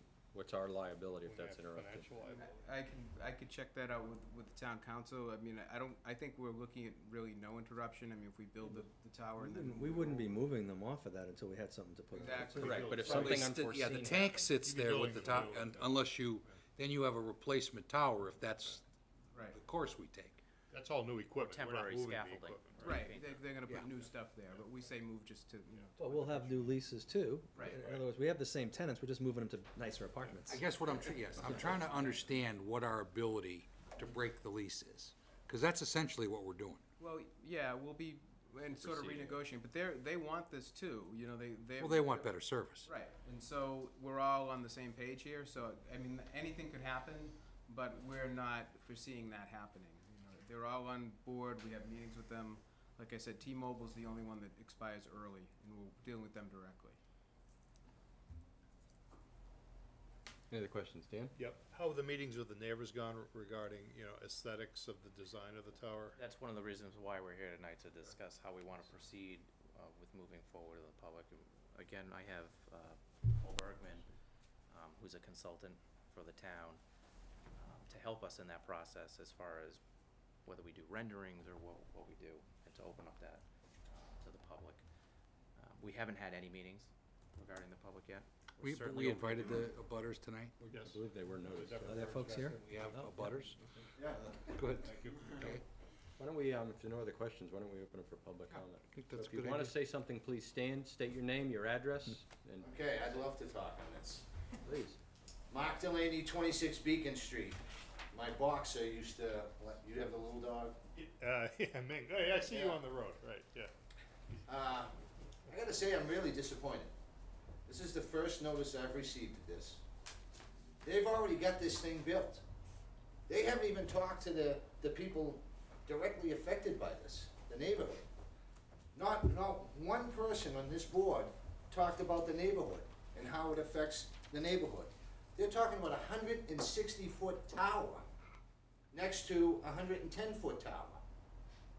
I, I mean, I'm, I'm dumbfounded that the decision's already been made and you haven't even talked to the neighborhood. Now, I appreciate that the board has to balance the interests of the town and the interests of neighborhoods. You live somewhat nearby, I don't think any of you live up by the water tower. So you can't really appreciate what it is we're talking, we're not talking about a big piece of land here. I've seen a rendition, uh, just by accident, by Googling it. It's like the Eiffel Tower beside the water tank. There's trees that surround that water tank. And at least during the summer, it blocks the view. Now we're gonna have this. This is, uh, this is not a fair process to this point. I mean, we talked about, this is the first notice. There's gonna be a number of hearings. The decision's already been made that we need to do this. What I don't understand is, we have a water tank, we have cell carriers. When we put a water tank there, the town has an obligation, for the benefit of the town, to maintain it. Before cell service was invented, those carriers weren't paying rent. So there was additional money to make the improvements, maintain the, the tank, and that hasn't been done. So now, what we're offering is we're gonna have another tower that you're gonna be responsible for maintaining, improving. You know, I don't have, haven't seen any analysis to justify what you said you've already decided you're gonna do. None of us have. I would also point out, because I'm a little familiar with this, I mean, the, the carriers, they don't own these towers, they rent. So that means we own it. But today, they're not building these towers anymore. They're doing small cell sites, where they're putting them on poles. They're putting them on telephone poles, lighting poles. All the carriers are moving in this direction.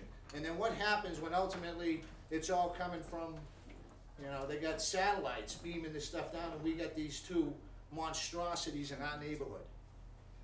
So, just based on what I heard, I, I, can say this, I'm very disappointed, because you guys, the, the horses left the gate, it's going down the back stretch, and no one's even talked to us yet.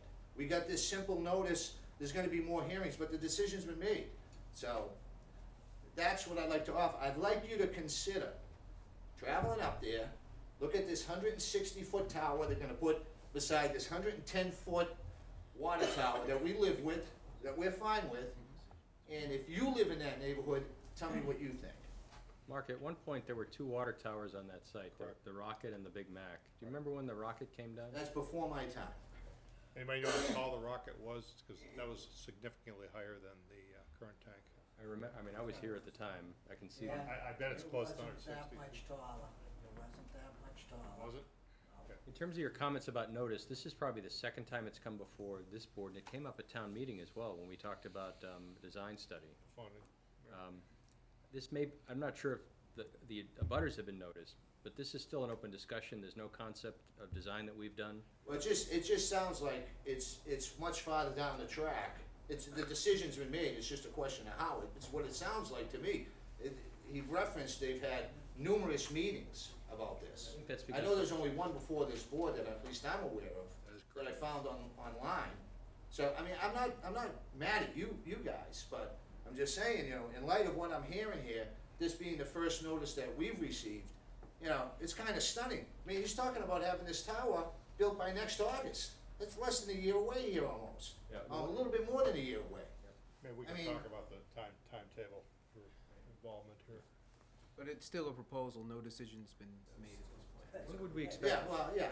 when would we expect to have concept of appearance or concept of, uh, design documents? I mean, there's probably three or four ways to construct such a thing, propose, Speak. proposals to construct. Um, My name is Paul Bergman, my company Bergman and Associates, uh, we're engineers. Um, in the last few years, we've done similar projects for the town of Framingham and another one for the town of Bedford, which is actually, uh, the tower's going up as this meeting is taking place. Um, the, the whole concept of, of what the tower is gonna look like, how high it's gonna be, uh, from which vantage points, uh, which streets and, and whatever it can be seen within the community. Um, those questions can be answered in part by, by photo renderings, where they fly a weather balloon at the, at the altitude of the tower. And then, uh, a driver in a vehicle with high order GPS and, and camera drives all around the community and maybe even outside the community. And, and then from that work, we put together renderings and maps uh, as to uh, depicting where the tower can be seen and to what extent. Um, and, and the height of the tower, if I may, that's a, that's a really important um, number that can, you can only arrive at that after a fair amount of homework. Um, you don't want a tower that's too short because as, as was mentioned earlier, uh, it might be able to clear the, the new water tank. By the same token, um, there's good reason not to have a tower that's too high either. Um, the carriers, contrary to what might be common belief, don't wanna have antennas that are too high because then it overshoots, um, users, uh, within the general vicinity of the tower itself. So there's like a certain area that they wanna be within. Um, Bedford was actually limited because the town of Bedford was limited at their water tank site because the tower is in the glide slope of a Hanscom Air Base. It's not near a glide slope, it's right in a glide slope. So the FAA actually dictated the height of that tower. That was kind of an unusual situation. I've talked to Ryan and, and Jeff and, um, there's no airports really in proximity, so the FAA, uh, their decision might not be as important as it was for the Bedford project. But in terms of aesthetics, not just raw height, but in terms of aesthetics, appearance, construction methods, Yeah. how could, how could, how could we be in a position to show alternative concepts for abutters to look at what alternatives might exist? Those of us driving down the Mass Pike occasionally see that, that isn't really a pine tree over there, but it take, you have to know where to look sometimes, th- those sorts of things. I imagine there's other creative options that the industry's come up with. There's actually, uh, um, fake water tanks. Um, I'm, I'm serious. Uh, there's been water tank towers that are constructed out of fiberglass with antennas inside the tank, if you will. That's somewhat unusual. Uh, there's the tree towers. Um, if anybody's on, been on Route Two East, you're around the Harvard, Massachusetts neighborhood, and there's a, there's a tree tower that that particular planning board demanded of the carriers, and it's, it, it looks like a huge shrub. I, I mean, it doesn't really look like a tree. Um, and, and, and a galvanized tower, um, when you first galvanize steel, it, it has a shiny, it, it, it, has a shine to it. But in a very short amount of time, the finish dulls, just like guardrail on the side of the highways. It dulls just because of oxidation with the atmosphere. So it turns more of a gray color, but, um, to try to get back to your question about options, you, you have the tree towers, the whole fake water tank, I'm not sure that would be appropriate.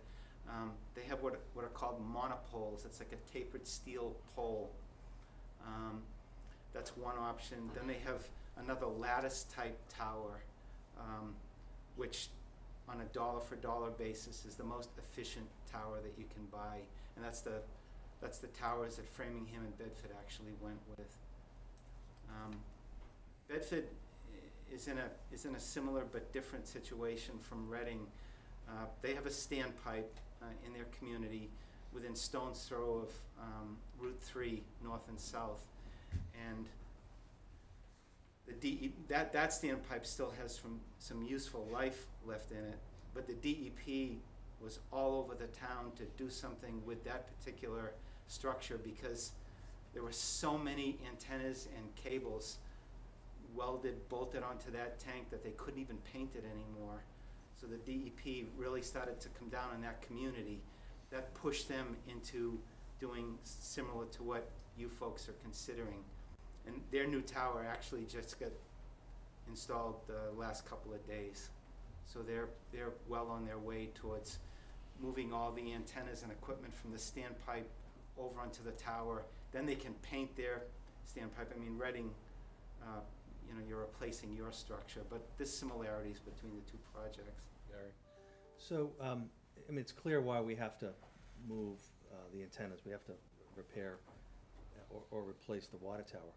But is that the only location that a cell tower could go on? I mean, it's there because it was an existing water tower and it was at a high point, but have other locations been scouted out that might be less intrusive?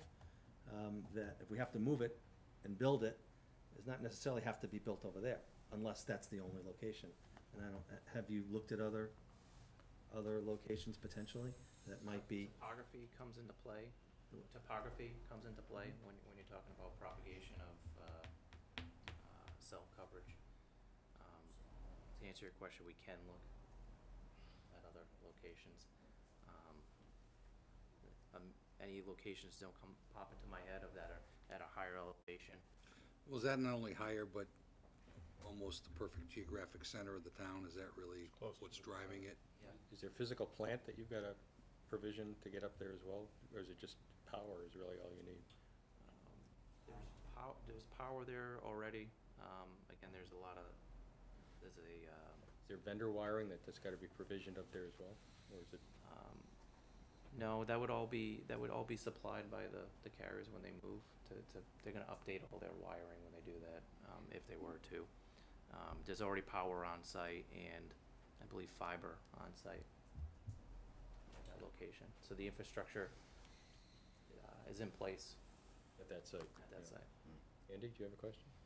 Yeah, I just, I wanted to ask the, the, I, I'm sorry, I forgot your name. Mark.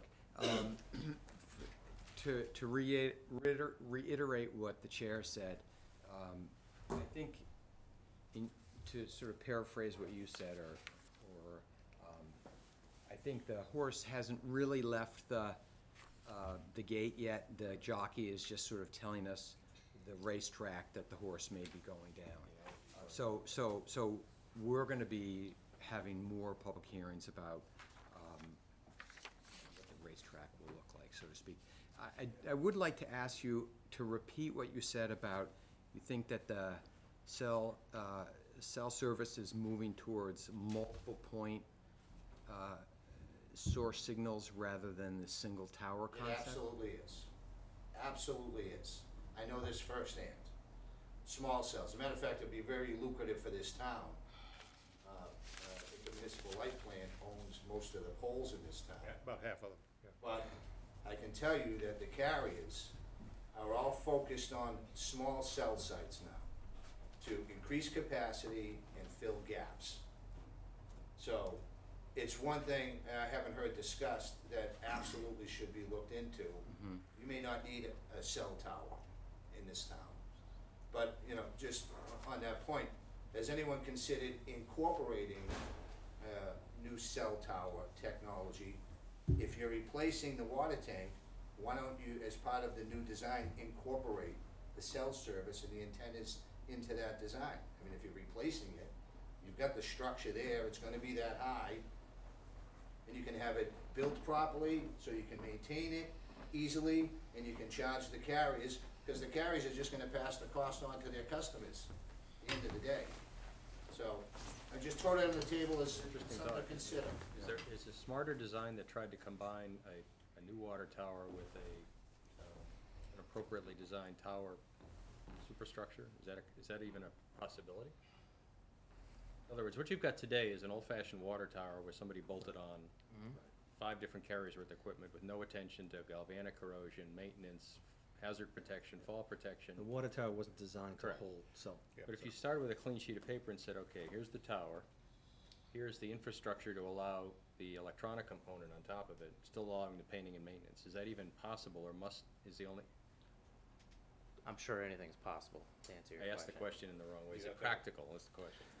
Staging. I would say from, from a, a standpoint of a water tower, a water tank versus a cell service site, the answer is no. I mean, we, we've come to the conclusion where we would love to have no cell carriers on our tank. The, the, the water tower is just simply that, a water tower. It made sense back in the day when towns may have been looking for some sort of revenue and sell, and these water tanks were there as part of a, an easy solution to put carriers on them. You know, and, and the towns were looking for revenue, so of course it made sense. Now Bedford, Framingham, Town of Reading, I'm sure other communities are gonna start having this problem with maintaining and painting their tanks and having these carriers on there. We could certainly We ask try- the question and look and see if, Let me try one more time, the tank at Bear Hill is flat on top, right? It's a big cylinder, is that true? uh, it has a, Little bevel. I think it's, yeah, I think point, it's- it has a pointed roof, I believe, Just on a, it. just a, okay. Conical roof. It is a s- conical roof, I guess. Yeah. Um, I could imagine that you'd have some sort on the conical roof, a superstructure that would be the electrical component. You'd still have maintenance stability to paint everything, but you'd have a superstructure. You'd take advantage of the base height that the tank allows you, and you'd still have the ability to kind of put this as a cherry on top.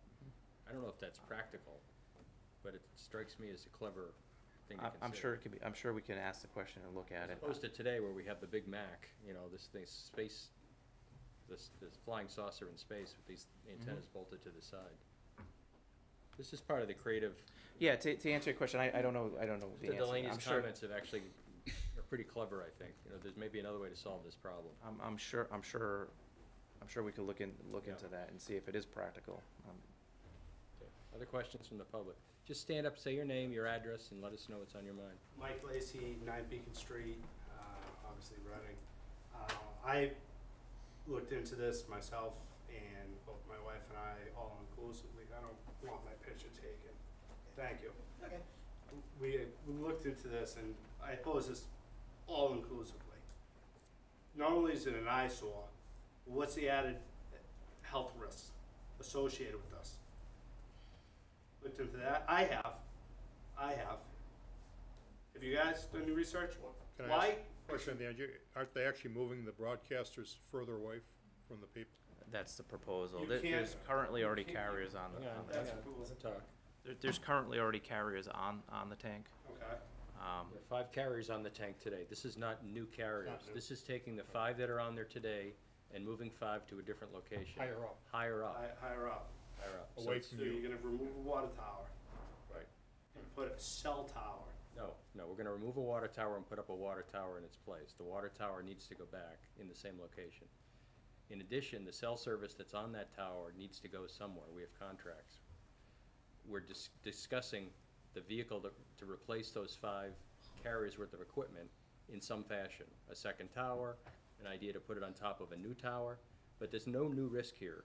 Those carriers are on the tower now and have been for, for years, decades. And what's that gonna do to property value? They're on the tower now. Okay, so when you, when you construct a, a cell tower, mm-hmm. what's gonna happen to the property value? It's gonna be an eyesore. Well, that's why we're talking about alternatives. We've heard about a p- potential for a tower that's another tank. There were two tanks on that site twenty years ago. We took one down due to its dilapidated state. Um, The, the facility is built to have industrial and uh, municipal equipment on it. I understand your point about putting the tower there, but in terms of the equipment, it's already there. The Equipment we're talking about, the facility, the cabling, it's already on the grounds now, operating right now. Your Verizon phone is talking to the tower and you make a call. So, I, in terms of the equipment, that's the discussion we're having right now, is what should, what form and substance should that tower or the replacement for the electronics take? Going And I was forward? in agreement with Mr. Delaney, Yeah, that this is already in, bullet's already in the chamber, so to speak. no, it's not. this is just, They're Not as- even the twenty-five percent design. Not even the twenty-five percent? we haven't even started It's not design. even funded. We're just talking about it. Well, the design's funded. The, the concept of the design is funded, but At there's, town meeting. there's no execution to go off and get it done. Now, in what other towns would there be, have this type of cell service or capacity in one location in a residential neighborhood? Because every, every, when you mentioned Framingham, and this gentleman over here mentioned Bedford, you were talking about the Mass Pike. And those trees, we all know those, you know, they're, that's an industrial neighborhood, and the Mass Pike. You're talking about Route Three, you're talking about Beacon Street and Auburn Street. Yeah, I was In a just- resi- in a residential neighborhood, I was where just- there's a lot of young kids. I'm not here, I'm thirty-five, that's fine. You know, call it midlife if you want, you know, it is what it is. But I'm, I'm here because I got two young kids. And I know that the, the research I've done is the negative effects on this radiation. Again, nobody can tell me, even the ones that are there, I don't even like the ones that are there. Nobody can say that they run horizontal, they don't. And to, to increase that capacity to whatever, you're not gonna, you're not gonna anything new and now, not have it improve more efficiently, efficiently, or hold, be able to hold more, more fiber optics, of anything of that sort. Just doesn't happen. So it's gonna be stronger, it's gonna be po- more powerful, it's gonna be enhanced, it's gonna be improved, it's gonna create more radiation, it's gonna create more energy coming off it. See what I'm saying? That's what I'm talking about. And to, and to have one, potentially one of those fake shrubs up there, uh, right across my house. I, if I, if that was the case, I would have moved somewhere else. Let me be clear and clarify what I said. I was only asking what other alternatives existed, and I used that as a convenient example that we all know. I wasn't suggesting. It doesn't even parallel. I just wanted to. Mass Pike in Auburn, in You're Auburn absolutely, Beacon you're absolutely right. I did it only to trigger the conversation. It's a- an example we all So know. let's, let's use analogies that make sense, that, that, that are Which one relevant. would you use? That's why I asked, what other neighborhoods or what other communities in uh, surrounding communities, Melrose, Wakefield, Stoneham, North Reading, Mm-hmm. have a cell tower in a closely knit residential community? That's what I asked. Not talking about Mass Pike, I'm not talking about Route Three. I can't answer that. Do you know That's an that? FCC regulated area, correct? About the siting of towers? Uh, Is that There's a correct? permit associated with the site. Why aren't cell towers near, constructed right next to schools? It's another one of my I questions. think they can go on private parcels that are not industrial. Why aren't so- they, why, aren't- why are cell towers not constructed right I near don't know schools? they're not.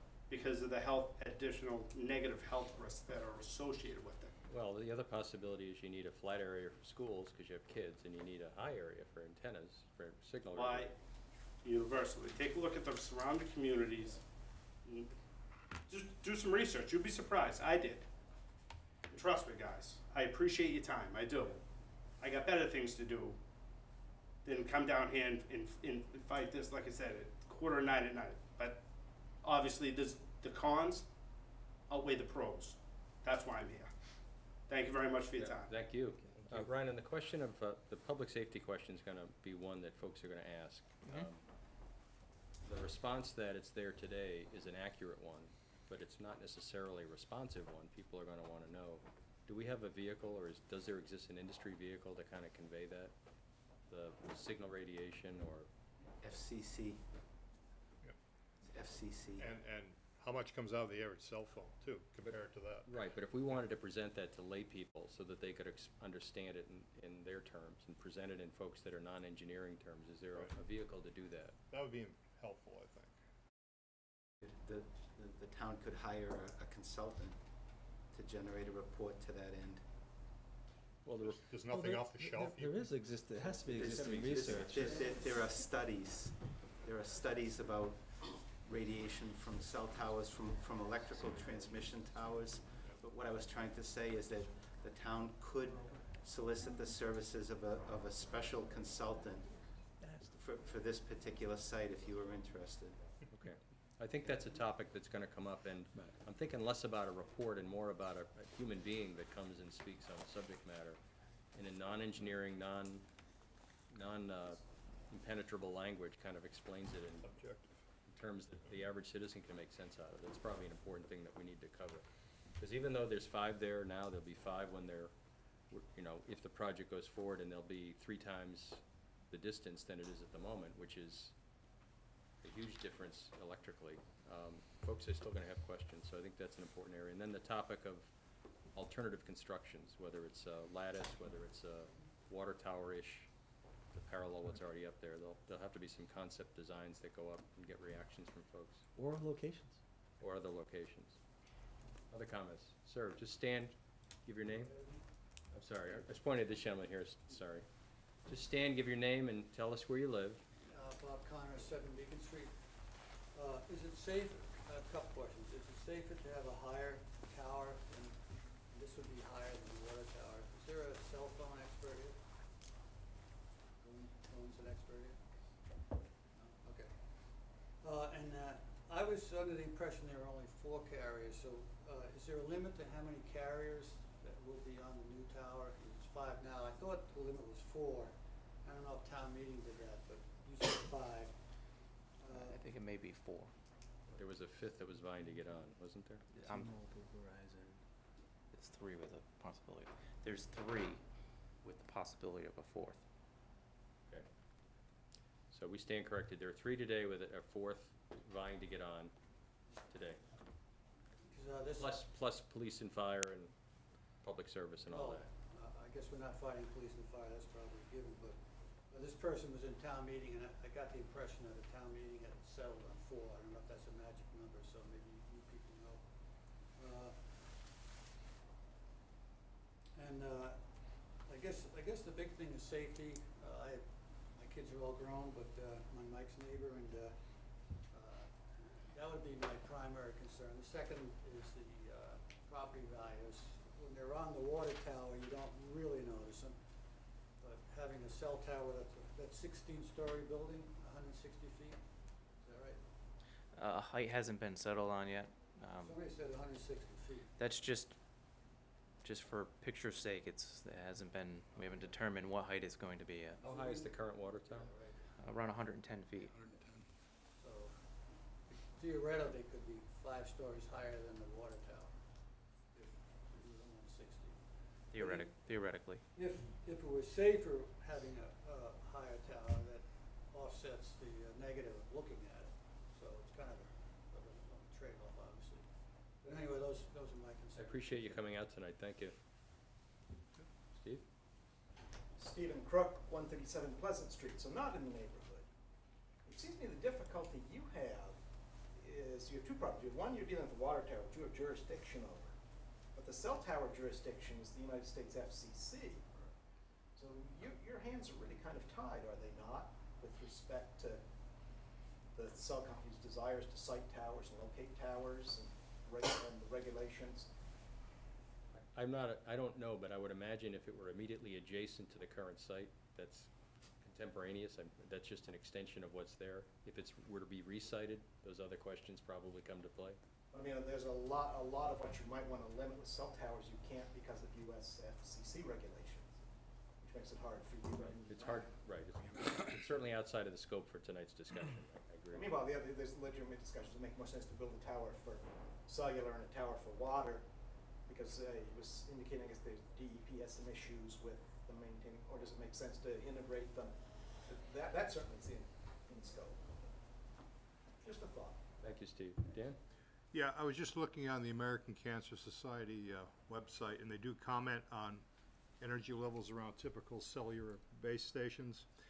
And they are very specific in saying at ground level near typical cell, cellular base stations, meaning towers, the amount of RF radio frequency energy is thousands of times less than the limits for safe exposure set by the U.S. Federal Communication Commission and other regulatory authorities. It is very unlikely that a person could be exposed to RF levels in excess of these limits by just being near a cell phone tower. That's from the American Cancer Society. Yes, sir. Uh, Did they set the asbestos limits years ago, Dan? You have to ask them. No, I, I think the point is we need to, there's plenty of stuff on the web. You need to give folks a sense of comfort. you'll need subject matter experts to speak in layman's terms. I can completely appreciate that. I would just say, if you own a cell phone, better throw it away if you're worried about the RF energy. Any other A lot comments? more's coming out of your phone. Any Yes, ma'am. Um, Elizabeth Witham, uh, twenty-eight Auburn Street. Um, I am concerned about what the property, what, what this will do to property values. I am concerned about, um, the look and feel of our neighborhood. It, having a very, very large structure like that in a very, very small neighborhood. It, we do not have a lot of space between houses. There isn't a lot of green space and, and everything. It really will have a, a major effect. I really would love to know that there's a guarantee that it will improve cell coverage in the schools area because coverage is hideous at the high school, at Coolidge, at the Y, at Birch Meadow. I mean, it, it, it, and I really question about whether or not it, they really will, if, if it will really improve it, because if they're going to be replacing with what they have, it's not go- it, all it's gonna do is raise it up a little bit, but it's not gonna increase the strength, so they're probably gonna wanna put stronger, you know, cell towers, other, you know, whatever the devices are, up there, which will have an effect on, you know, the, the, could have an effect on the health of the community, so those are things that really need to be seriously considered before this is done. Also, really curious if this is tied to any of the work that's being mapped out on our street now, um, already, because there's lots of spray paints all over Auburn Street. No. And we don't know if, when this is supposed to start and when, hope I we're know not you said doing the anything. I'm gonna completion toss, time. I'm gonna toss They were that paid question. to- last. Ryan, you wanna speak to that? We Uh, always paid last. Hang on. No, this, this has nothing to do with any Okay, of that. so There- it's not starting yet. no, There's some utility infrastructure work that's gonna be happening on, on the water mains, um, but that, but that's it. Okay, And the, and the gas main, uh, they're doing work out there as well. Okay. When would this start? I mean, I know that we're not, you know, we don't have the final idea, the, the final concept, but when is the projected start date of this happening for the water tower and the cell tower, and when is the projected end date of this set, of whatever is second? I've heard We, one we of them don't have a being- projected date now. We don't know how long the, the public process will go. Um, I could imagine that the public process could take several meetings alone by themselves, and then there's a design phase and a, a public reaction to that. And, um, some of these other more clever ideas may take some additional work to, for economic sake. The- We've already talked about explaining the, uh, in simple layman's terms, what we're doing, so folks get comfort level. Your points is a good one. Um, I'm not certain whether the companies are putting more powerful stuff up there, or they simply have a better shot of being able to direct what the signals they have over the trees, and therefore, the same as what they have, it's just a better angle on their target, a better, I, I live two hundred yards from the water tower. I can't get Verizon in my house, I have to go out into Yeah. the porch to make a phone call. Same here. I could hit it with a rock, but I can't get a signal in my kitchen. Um, so I know what you're talking about. But I think all of that's gotta play out publicly, and I'm very sensitive to the whole property values discussion. My only comment is that that site has been used in the last two decades as, for two separate water towers. And maybe there's a clever way to kind of play into that, that theme going forward, to, to make it look like a second water tower, it's a different functioning entity. I think it would be important to have, um, a comparison of property values in other communities that have cell towers and or water towers, or both, Right. in a very close residential space. Thank you for your comments. Any, any other public comment? One final? Yes, sir. Councilor Friedman seemed to be the only one interested in the small cell sites. I can tell you the carriers have gotten legislation passed in ten states so far, just this past year, to bring efficiency to the permitting of those sites. That legislation will be filed in Massachusetts within the next six to twelve months. It's happening all over the country. It's really something you should take a look at. I- Yeah, I wouldn't read into any reaction here in terms of interest. Are you in the business? You seem like you know a lot about this. Do you do this for? I'm a lawyer and I, and I do a little political stuff. Good, thank you. Thank you for your comments. It's fascinating stuff. I'd like that looked into, I really would. Yeah. Yes, sir. Uh, My, my only comment, again, is, uh, if, if these smaller, uh, cell, forwarding stations are put in, if it's safer or less safe, because it may provide better coverage to the schools, et cetera, but if it's less safe, then I'm torn to having a safer solution. Yeah, I understand. Safety is preeminent in all, all that we're doing here, so. Any other public comment? Any other comment from the board? I think we have a lot, I think we have a lot of work to do. I mean, um, the last thing, the, the last thing we wanna do is, is shove a project down a neighborhood's throat. Um, but, n- actually, no buts. And, um, you know, we still have to balance, sort, I mean, we have to deal with the water tower. And then we have to deal with, um, removing the cell, the, you know, the, the carrier stuff off of that while we repair that. So it, it's, it, it has to get dealt with. It could be an opportunity to look at more creative kinds of solutions, but, um, I, I, I hope people leave here knowing that, um, you know, there's no secret plan that we're taking off the shelf and just gonna get done. I mean, there's a lot of questions here that, just in this conversation that I learned about, I didn't know that you could potentially look at, you know, smaller kinds of things. Um, so, I think there's a lot of work to do. Um, I think the public safety stuff, I think, is really important. Um, uh, from the stuff that I've read, um, th- there, there really isn't a public safety thing, but I think that when you're gonna build something new, it's probably a good idea to take a fresh look at that and just, you know, if we have to bring somebody in here or maybe involve our Board of Health in looking at things or making a presentation, I think that that's i- important. Um, and in the long run, we certainly wanna build anything that's gonna be obsolete in five years. So I think it's a lot of stuff to digest and, um, you know, I think you have a commitment from this board that we're not just gonna ram something down. Barry, did you say the Board of Health would be weighing in on RF? No, I'm just saying is that potentially we can ask them to look, I mean, that, that, I- I think that's that's way something. beyond their purview and beyond their expertise. I'm, I'm just saying, it, it, that, we can bring in somebody else. We can Um, bring in a subject matter expert, yeah. Yeah, Yeah. that, that would be better. Yeah. Do Um, we have a, I'm sorry. A question for Ryan. The question on these nan, uh, micro towers or distributed towers, I know that's not DPW's subject matter, but it might be interesting to include in the conversation. I don't know how we do that, but we should make a note going forward to at least include that in, whether that has a mitigating factor or, sorry, did you? Uh, To Mr. Delaney's point, um, there's an acronym DAS that's often used for these microsites.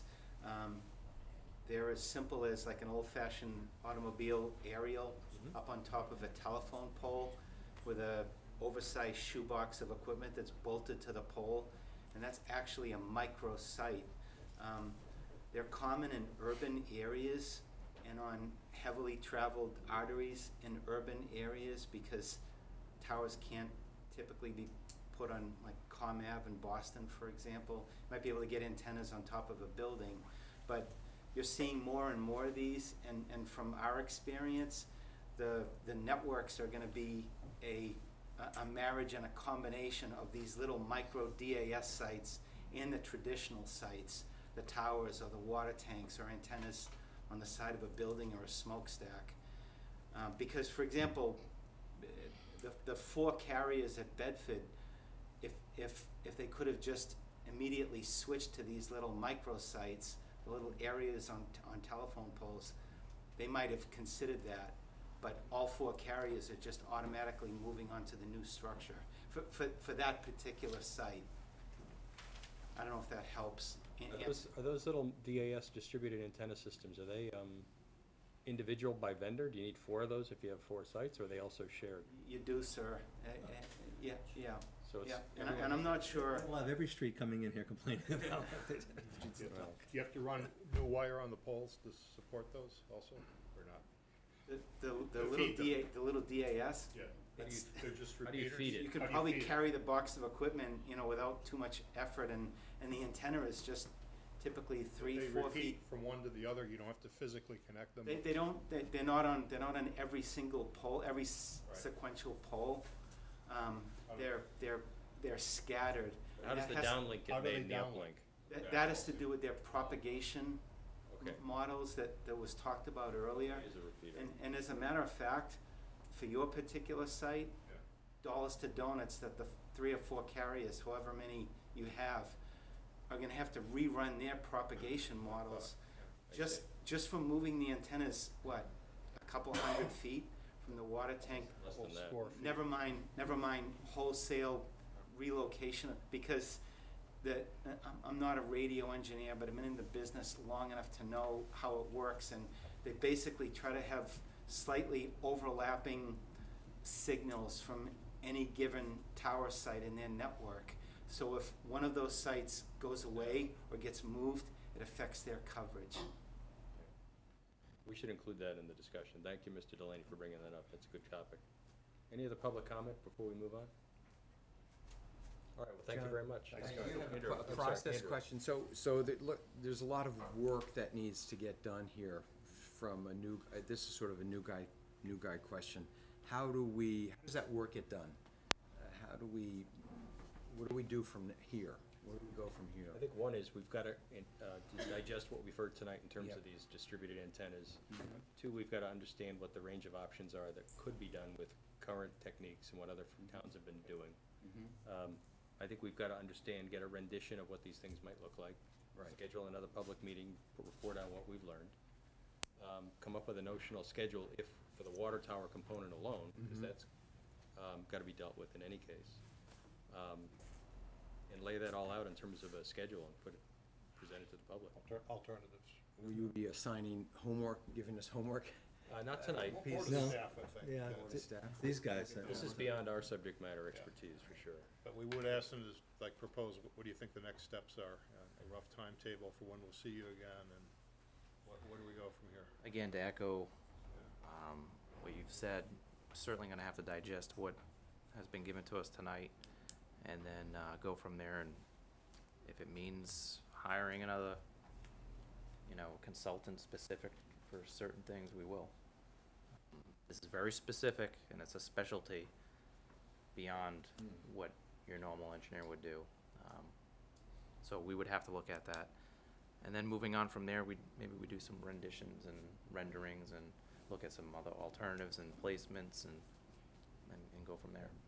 For the folks in the audience, I, I hope you take away tonight that um, we're treating this seriously and we're listening to you as if we were living on Beacon Street.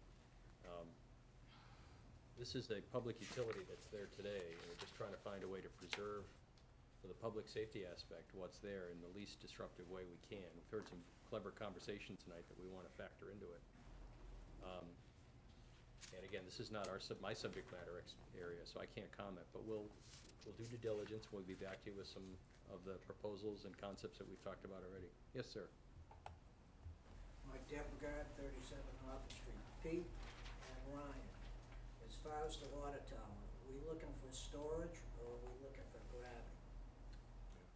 Because if we, s- if we start from the ground up as far as storage, we can increase the capacity.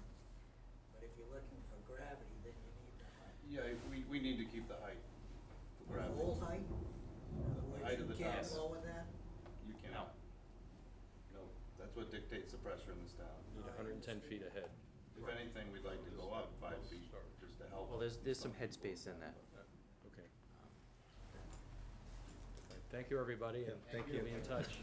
Thanks. Two-minute recess while folks empty out here, just real quick. Okay. Thank you, everybody. Am I next?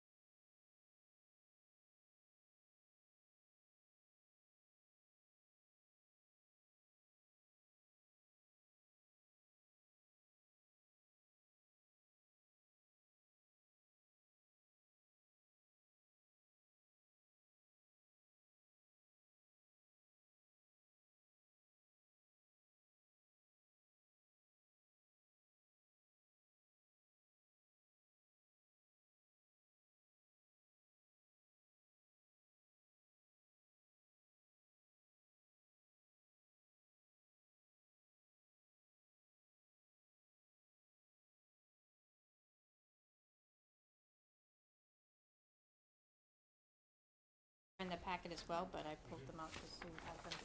All right, Sharon, it's all yours. Okay, so on June twenty-first, we issued bonds, and the um, issuance was for the three million dollar settlement for the high school. Um, It also was for um, three point, I think it's three million four sixty for water main work, and then two million, two point four million for sewer station work. And when we started to work with This is yours. That's our bonding agent, um, we discovered that for the high school debt, um, MSBA does owe us one point four eight nine million dollars. And we originally thought that we needed to use that to reduce the excluded debt because we thought some of the debt we had outstanding was the MSBA's. Right. But in two thousand and twelve, we had refunded that debt and a, a, a lump sum payment was made by the MSBA to pay off their portion. So that one point four eight nine, based on what bond counsel's view and the bonding agent's view, was really to be put, applied towards the settlement. So that's why we ended up banning, because they said, well, okay, now you just need to do your final reimbursement and the MSBA will pay you. Because they Right. didn't pay us, because we withheld from the contractor. They didn't pay their portion of the Right. bill because we didn't pay our portion of the bill. But now we paid the bill. And so now we've paid the bill, so now I have to put in another reimbursement request. The, the other How much will hold, that be, Sharon? Point one six. million four eighty-nine, so that's why we banned for one million four ninety. Um, because they said you can't borrow the three million dollars because you have this money that's coming in, Coming to and you. they did not agree with us that we had borrowed it. Because originally we did borrow for the MSBA, I think that it, the first issuance was for thirty-five million, and it was partially our portion, but some of the MSBA, and that's not uncommon, they would just pay you back with the interest and such. Um, and then they changed the way they did things, and they wanted to buy out of the, the loan when we did our refunding, because we got a great rate. Um, and so at that point, I think they purchased out, and I think we thought we still had a portion of it that was MSBA. So for that reason, we had to ban half of the money. Um, so we will end up borrowing less than what we told town meeting, so that will probably be a rescinded portion of that authorization. Ban is always less than a year. It's temporary debt, yeah.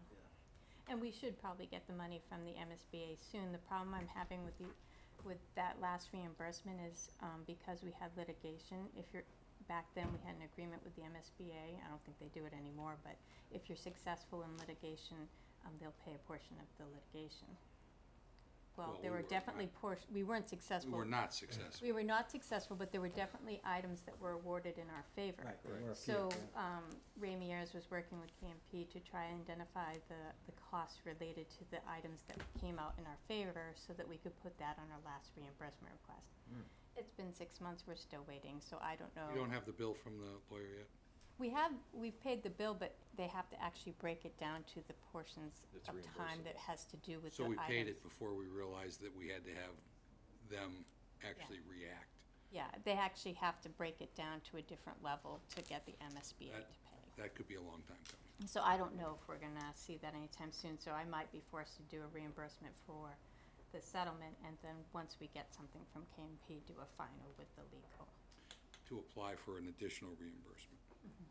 So if we tie the reimbursement directly to the construction portion Mhm.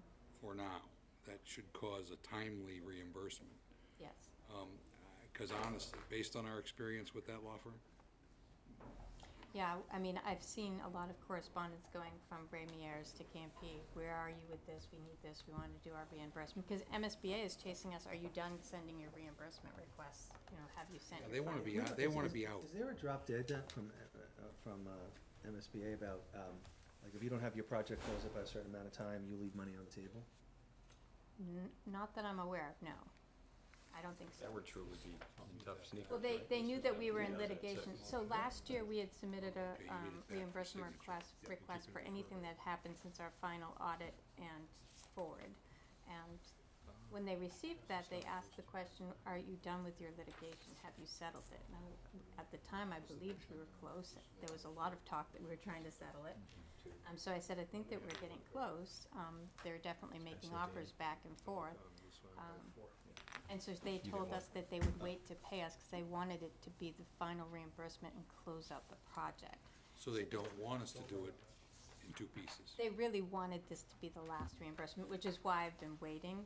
But at this point where we've banned, I really want to put the reimbursement request and let them know that we're waiting on the legal. th- this kind of comes back to a, you know, a theme that we talked about earlier. I mean, we paid this lawyer, Mhm. and there are certain things we should have an expectation as a result of that mm-hmm. payment. And, The same you know, discussion is our first discussion tonight. Yeah, I it do is think our it's a first dis- yeah, it's labor-intensive exactly way tied that we're back to asking this- to to look the at it, earlier though, for discussion. sure. I mean, it's definitely a different way we're asking him to look at it, like, how much time did you spend on this item that we were successful at? You know what I mean, break his time down to, do you know what I mean? So I I think know that- exactly what you mean. I think it changes how he has to look at things, it's not just, oh, this is all the hours I spent, he's gotta kind of pull out everything that was related to the Well, there's a piece. certain accountability now that he, I'm sure he's very uncomfortable with. And I'm sure that's why you're gonna see it delayed. And I think we have to be very firm about this. Yeah.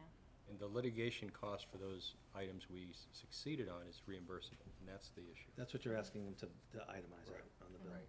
Just the litigation expense, and f- to refresh our memories, with the total litigation costs, not the settlement, just the litigation. How much was it total? We've never heard that number. Never heard what the representation The cost. last time I saw it was upwards of that seven hundred thousand for the litigation, but I'd have to The, revisit. the most recent one. But this is a second law firm. You mean the K and P? We need to look at the, we, it- there would be a, we should, since the town actually pays that bill, Mhm. um, it would be nice to know, What it because costs. that question is gonna come up, Yeah, for We sure. never heard what it costs us to defend ourselves. front to back. Yeah, Two because the, separate the firms. costs are in two different places. Some of it was charged to the project when they, when they first started litigation, and then at some point, we were like, well, we need to That start was not taking. proper, yeah, That's not the proper We're way to talking do. about the escrowed funds they were charging against. There, there's a, there's a capital project that's set up Yep. for the high school project. So when they started litigation, what they were doing was charging the legal bills to the capital project, Correct. which I don't think was technically correct. So then, when Bob and I were looking at it, he said, let's, let's pull this out and start charging the legal bills. There's a long list of what was done incorrectly. But then when the funds were escrowed, when there was, um, they were charging, there were legal bills charged against the escrowed amount as well. So that the total, there was two million in escrow. Escrow? I don't recall there being an escrow. Um, When there, when the payments were withheld, the Mhm. funds that were withheld were escrowed. Right, the payments that would have went to the contractor that we disputed were put in escrow. Not to my knowledge, they were all kept into the project. The money just remained in the project, but because they were That's spending what the the- legal that's- money, That's what the process should have been. So, that's what should have happened, but they actually were spending the money on legal. I heard that it was escrowed at town meeting, you're saying it wasn't. I, I, I'm, I'm. Okay. Mr. Chairman. Yes. Not to my So, knowledge, no. you know, we're talking about two point three million dollars that was withheld. Mm-hmm. And when all the dust settled, we had eight hundred thousand dollars left in this escrowed account. Correct. So it went somewhere. It Now, And I think some it of went it went towards into, legal, into yeah. capital, you know, work Yeah. that was unfinished or had to be redone. So I do Mm-hmm. know some of that happened. And there was definitely a settlement with, um, that Brackett and Lewis, Lew- Correct. Lucas has done.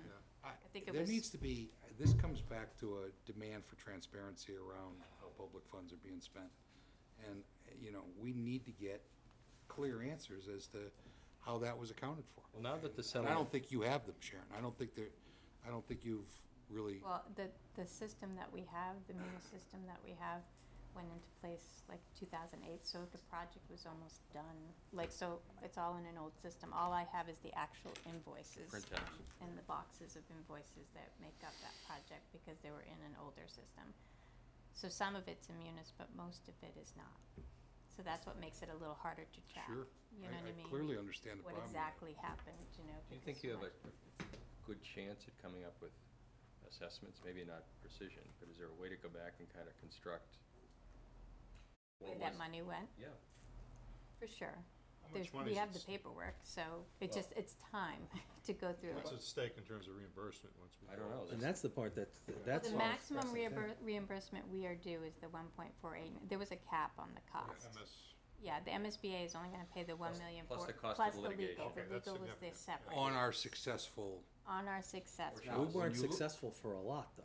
But we we were successful incidentally Three to or the, four. to Yeah. the number. Right. It was very small. But how the- much, so do they attribute, Who will they knows? break it down like, okay, well, you were successful in ten percent of the, the thing, so you're gonna, so it's gonna be ten percent of a legal bill? They had that master judge working on different claims, and So then he they- would award one or the other. Those rolled out in pieces from the master, okay, so, you, so we'd see those during the time that I was chair and, and read in.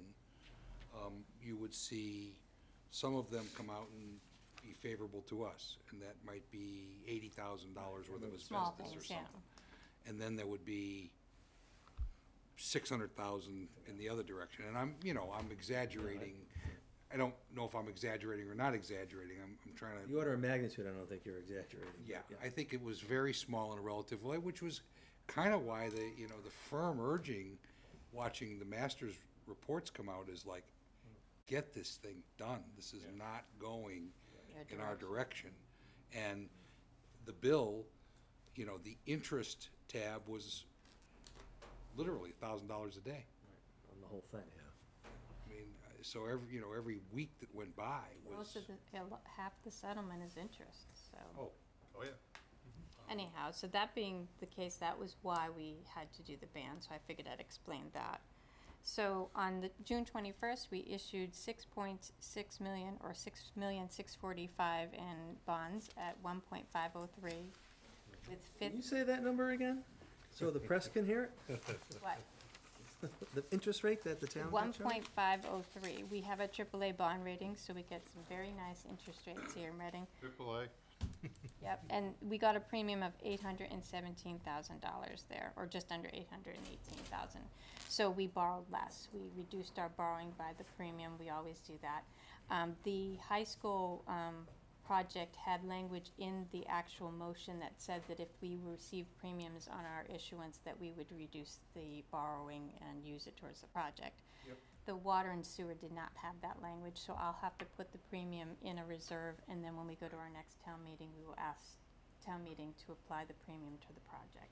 It's just a formality, but, and we, we can make, have language, um, put in place that will make that an automatic for all projects going forward and, and the projects that have Reduce been the project authorized. pri- cost immediately. Yes, so that we don't have to do that every time, because we reduced how much we actually borrowed by the premium, just because it made no sense not to, so. certainly. Um, and then we, we issued the ban at one point oh seven four with Eastern Bank, and we got a twelve hundred dollar premium. What else do you need to have here? So essentially, I told you all you needed to know about the high school project and why we had to ban.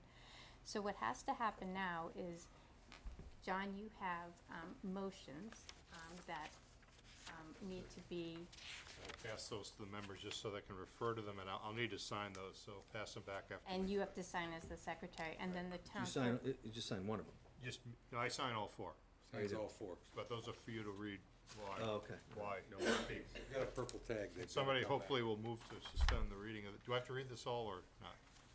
I don't know. I've never been here when you guys done it, so Oh, have you okay. ever read the whole thing? You did it last year too. You had. I'll, I'll you read the whole thing just to be safe, if you. Yeah, I would. Is I it- don't know if you can. Okay, so I'm gonna start, my, first part's my certification, ignore that. Move that the sale of the six million, six hundred forty-five thousand dollar general obligation municipal purpose loan of two thousand seventeen bonds of the town dated June thirtieth, two thousand seventeen, the bonds, to Fifth Third Securities, Inc., at the price of seven million, four hundred forty-nine thousand, nine hundred eighty-one dollars and ninety-seven cents, and accrued interest, if any, is hereby approved and confirmed. The bonds will be payable on June fifteenth of the years and in the principal amounts and bear the interest at the respective rates as follows. Year twenty eighteen, amount seven thirty-five thousand, interest rate four percent. Uh, year twenty nineteen, amount seven hundred twenty thousand dollars, interest rate four percent. Year twenty twenty, amount seven hundred twenty thousand dollars, interest rate four percent. Year twenty twenty-one, amount seven hundred twenty thousand dollars, interest rate four percent. Year twenty twenty-two, amount seven hundred fifteen thousand, interest rate four percent. Year twenty twenty-three, amount $715,000 interest rate four percent. Year twenty twenty-four, amount seven hundred fifteen thousand dollars, interest rate four percent. Year twenty twenty-five, amount seven hundred fifteen thousand dollars, interest rate four percent. Year twenty twenty-six, uh, amount four hundred forty-five thousand dollars, interest rate four percent. Year twenty twenty-seven, amounts four hundred forty-five thousand dollars, interest rate four percent. Further voted to approve the sale of a one thou, one million four hundred ninety thousand dollar, one point two five percent general obligation bond anticipation note of the town dated June thirtieth, two thousand seventeen, and payable December fifteenth, two thousand seventeen, the note, to Eastern Bank at par and accrued interest plus a premium of one thousand two hundred one dollars and ninety-three cents. further voted that in connection with the marketing and sale of the bonds, the preparation and distribution of a notice of sale and preliminary official statement dated June 14, two thousand seventeen, and a final official statement dated July 21, two thousand seventeen, the official statement, each in such form as may be approved by the town treasurer, be and hereby are ratified, confirmed, approved, and adopted.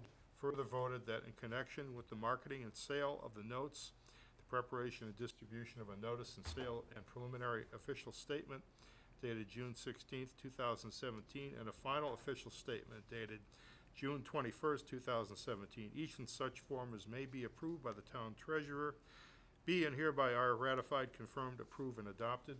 Further voted that the town treasurer and the board of selectmen be and hereby are authorized to execute and deliver continuing and significant events disclosure undertakings in compliance with SEC Rule fifteen C two twelve in such forms as may be approved by bond counsel to the town, which undertaking shall be incorporated by reference in the bonds and notes as applicable for the benefit of the holders of the bonds and notes from time to time.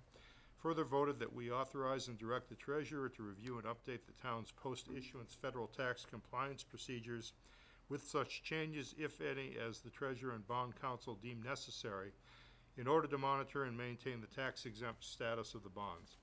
Further voted that each member of the Board of Selectmen, the town clerk, and the town treasurer be and hereby are authorized to take any and all such actions and execute and deliver such certificates, receipts, or other documents as may be determined by them or any of them to be necessary or convenient to carry into effect the provisions of the foregoing votes.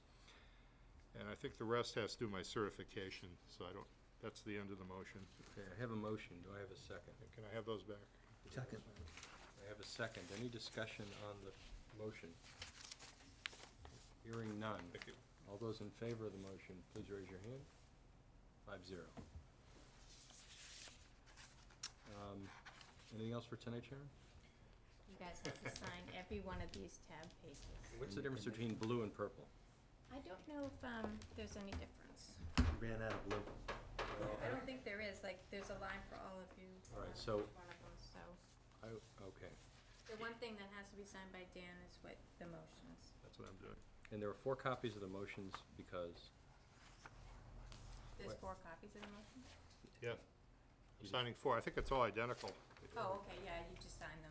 Okay. Must be a need to have Yes. multiple. okay. I'm Not normally involved in all the signings, so I Right. won't have the answer for why there are four. Why don't we do that at the end of our meeting tonight, rather than, just leave it right there, and we'll, Okay, we'll get to then that in a we'll give moment. them to- I think we yeah. only have one other topic, uh, for this evening anyway. Any other topics for Sharon before? Signing it? and Do you wanna, good. um, you wanna stay here and collect these back, I assume, right? we'll- Yeah. We'll be done. I think all we have is the extension of, uh, Yeah, we did then everything I'll else. stay and climate wait. committee and we're done. Yeah. Yep. You can pass Cause I those gotta to get Sharon. them to Laura first. Do we have liquor licenses? That's, that's on my staff. We, we already ought to sign those. It's already done. Um, I That's a think, Bob, that's a Bob thing. I think the, o- gentlemen, the only other topic for tonight before we adjourn is the, um, extending the sunset clause for Climate Advisory Committee, as we discussed earlier. This group is due to sunset at the end of the month. They're working on a- an advisory, um, I'm sorry, we just went out of my head. The proposal to, um, come up with language regarding a, uh, a cha- Regulation. A regulation for Plastic bags. uh, for plastic bags, and in light of that, I'm proposing that we extend them to uh, the end of this year, to December 31 of 2017, at which point we'll evaluate the body of work and decide what to do at that point. So if there's no other discussion, I'll entertain a motion to to extend that sunset clause. Dan? Oh, I buried all my motions. Okay. Move that the Board of Selectmen extend the sunset clause for the Climate Advisory Committee to the date of December thirty-first, two thousand seventeen. Do I have a second? Second. I have a second. Any further discussion? Could I move to make an amendment to the motion? Sure. To just, so, in, in looking at the work that the Climate Advisory Committee is doing, plus this, the hazard mitigation plan, which we're, is not gonna go away in the near future, uh, like it or not, as far as applying for grants. Um, They speak about, a couple times, the, the hazard mitigation plan talks about incorporating climate change impacts and climate climate resilience adaptation components into the mas- town's master. Talking about the mitigation plan we just looked at tonight. Right, right. I mean, my, I guess my point is, I think there may, we, the motion, the- the amendment that I would like to make to the motion is to, to just extend them for two years to July 2009, uh, 2019, because I think there will be a need uh, for the Climate Advisory Committee moving forward. Okay. And I, and we got an email from uh, the chair, David Zeke, who is here. Um, He could summarize the projects that they have moving forward. Um, I have no objection. David, do you have any comments, briefly?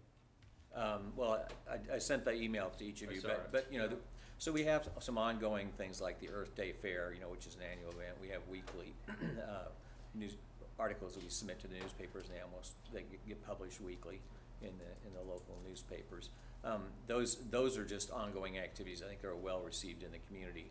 The, um, the, the projects that we have in our backlog were things we've talked about earlier before we got into the, the bag ban discussion, which was about, um, I think we talked about them here as well, about, uh, looking at solar installations, possible solar installations for the town of Reading, looking at possible, um, electrical vehicle charging stations, uh, that, that in, in, in cooperation with, uh, RMLD.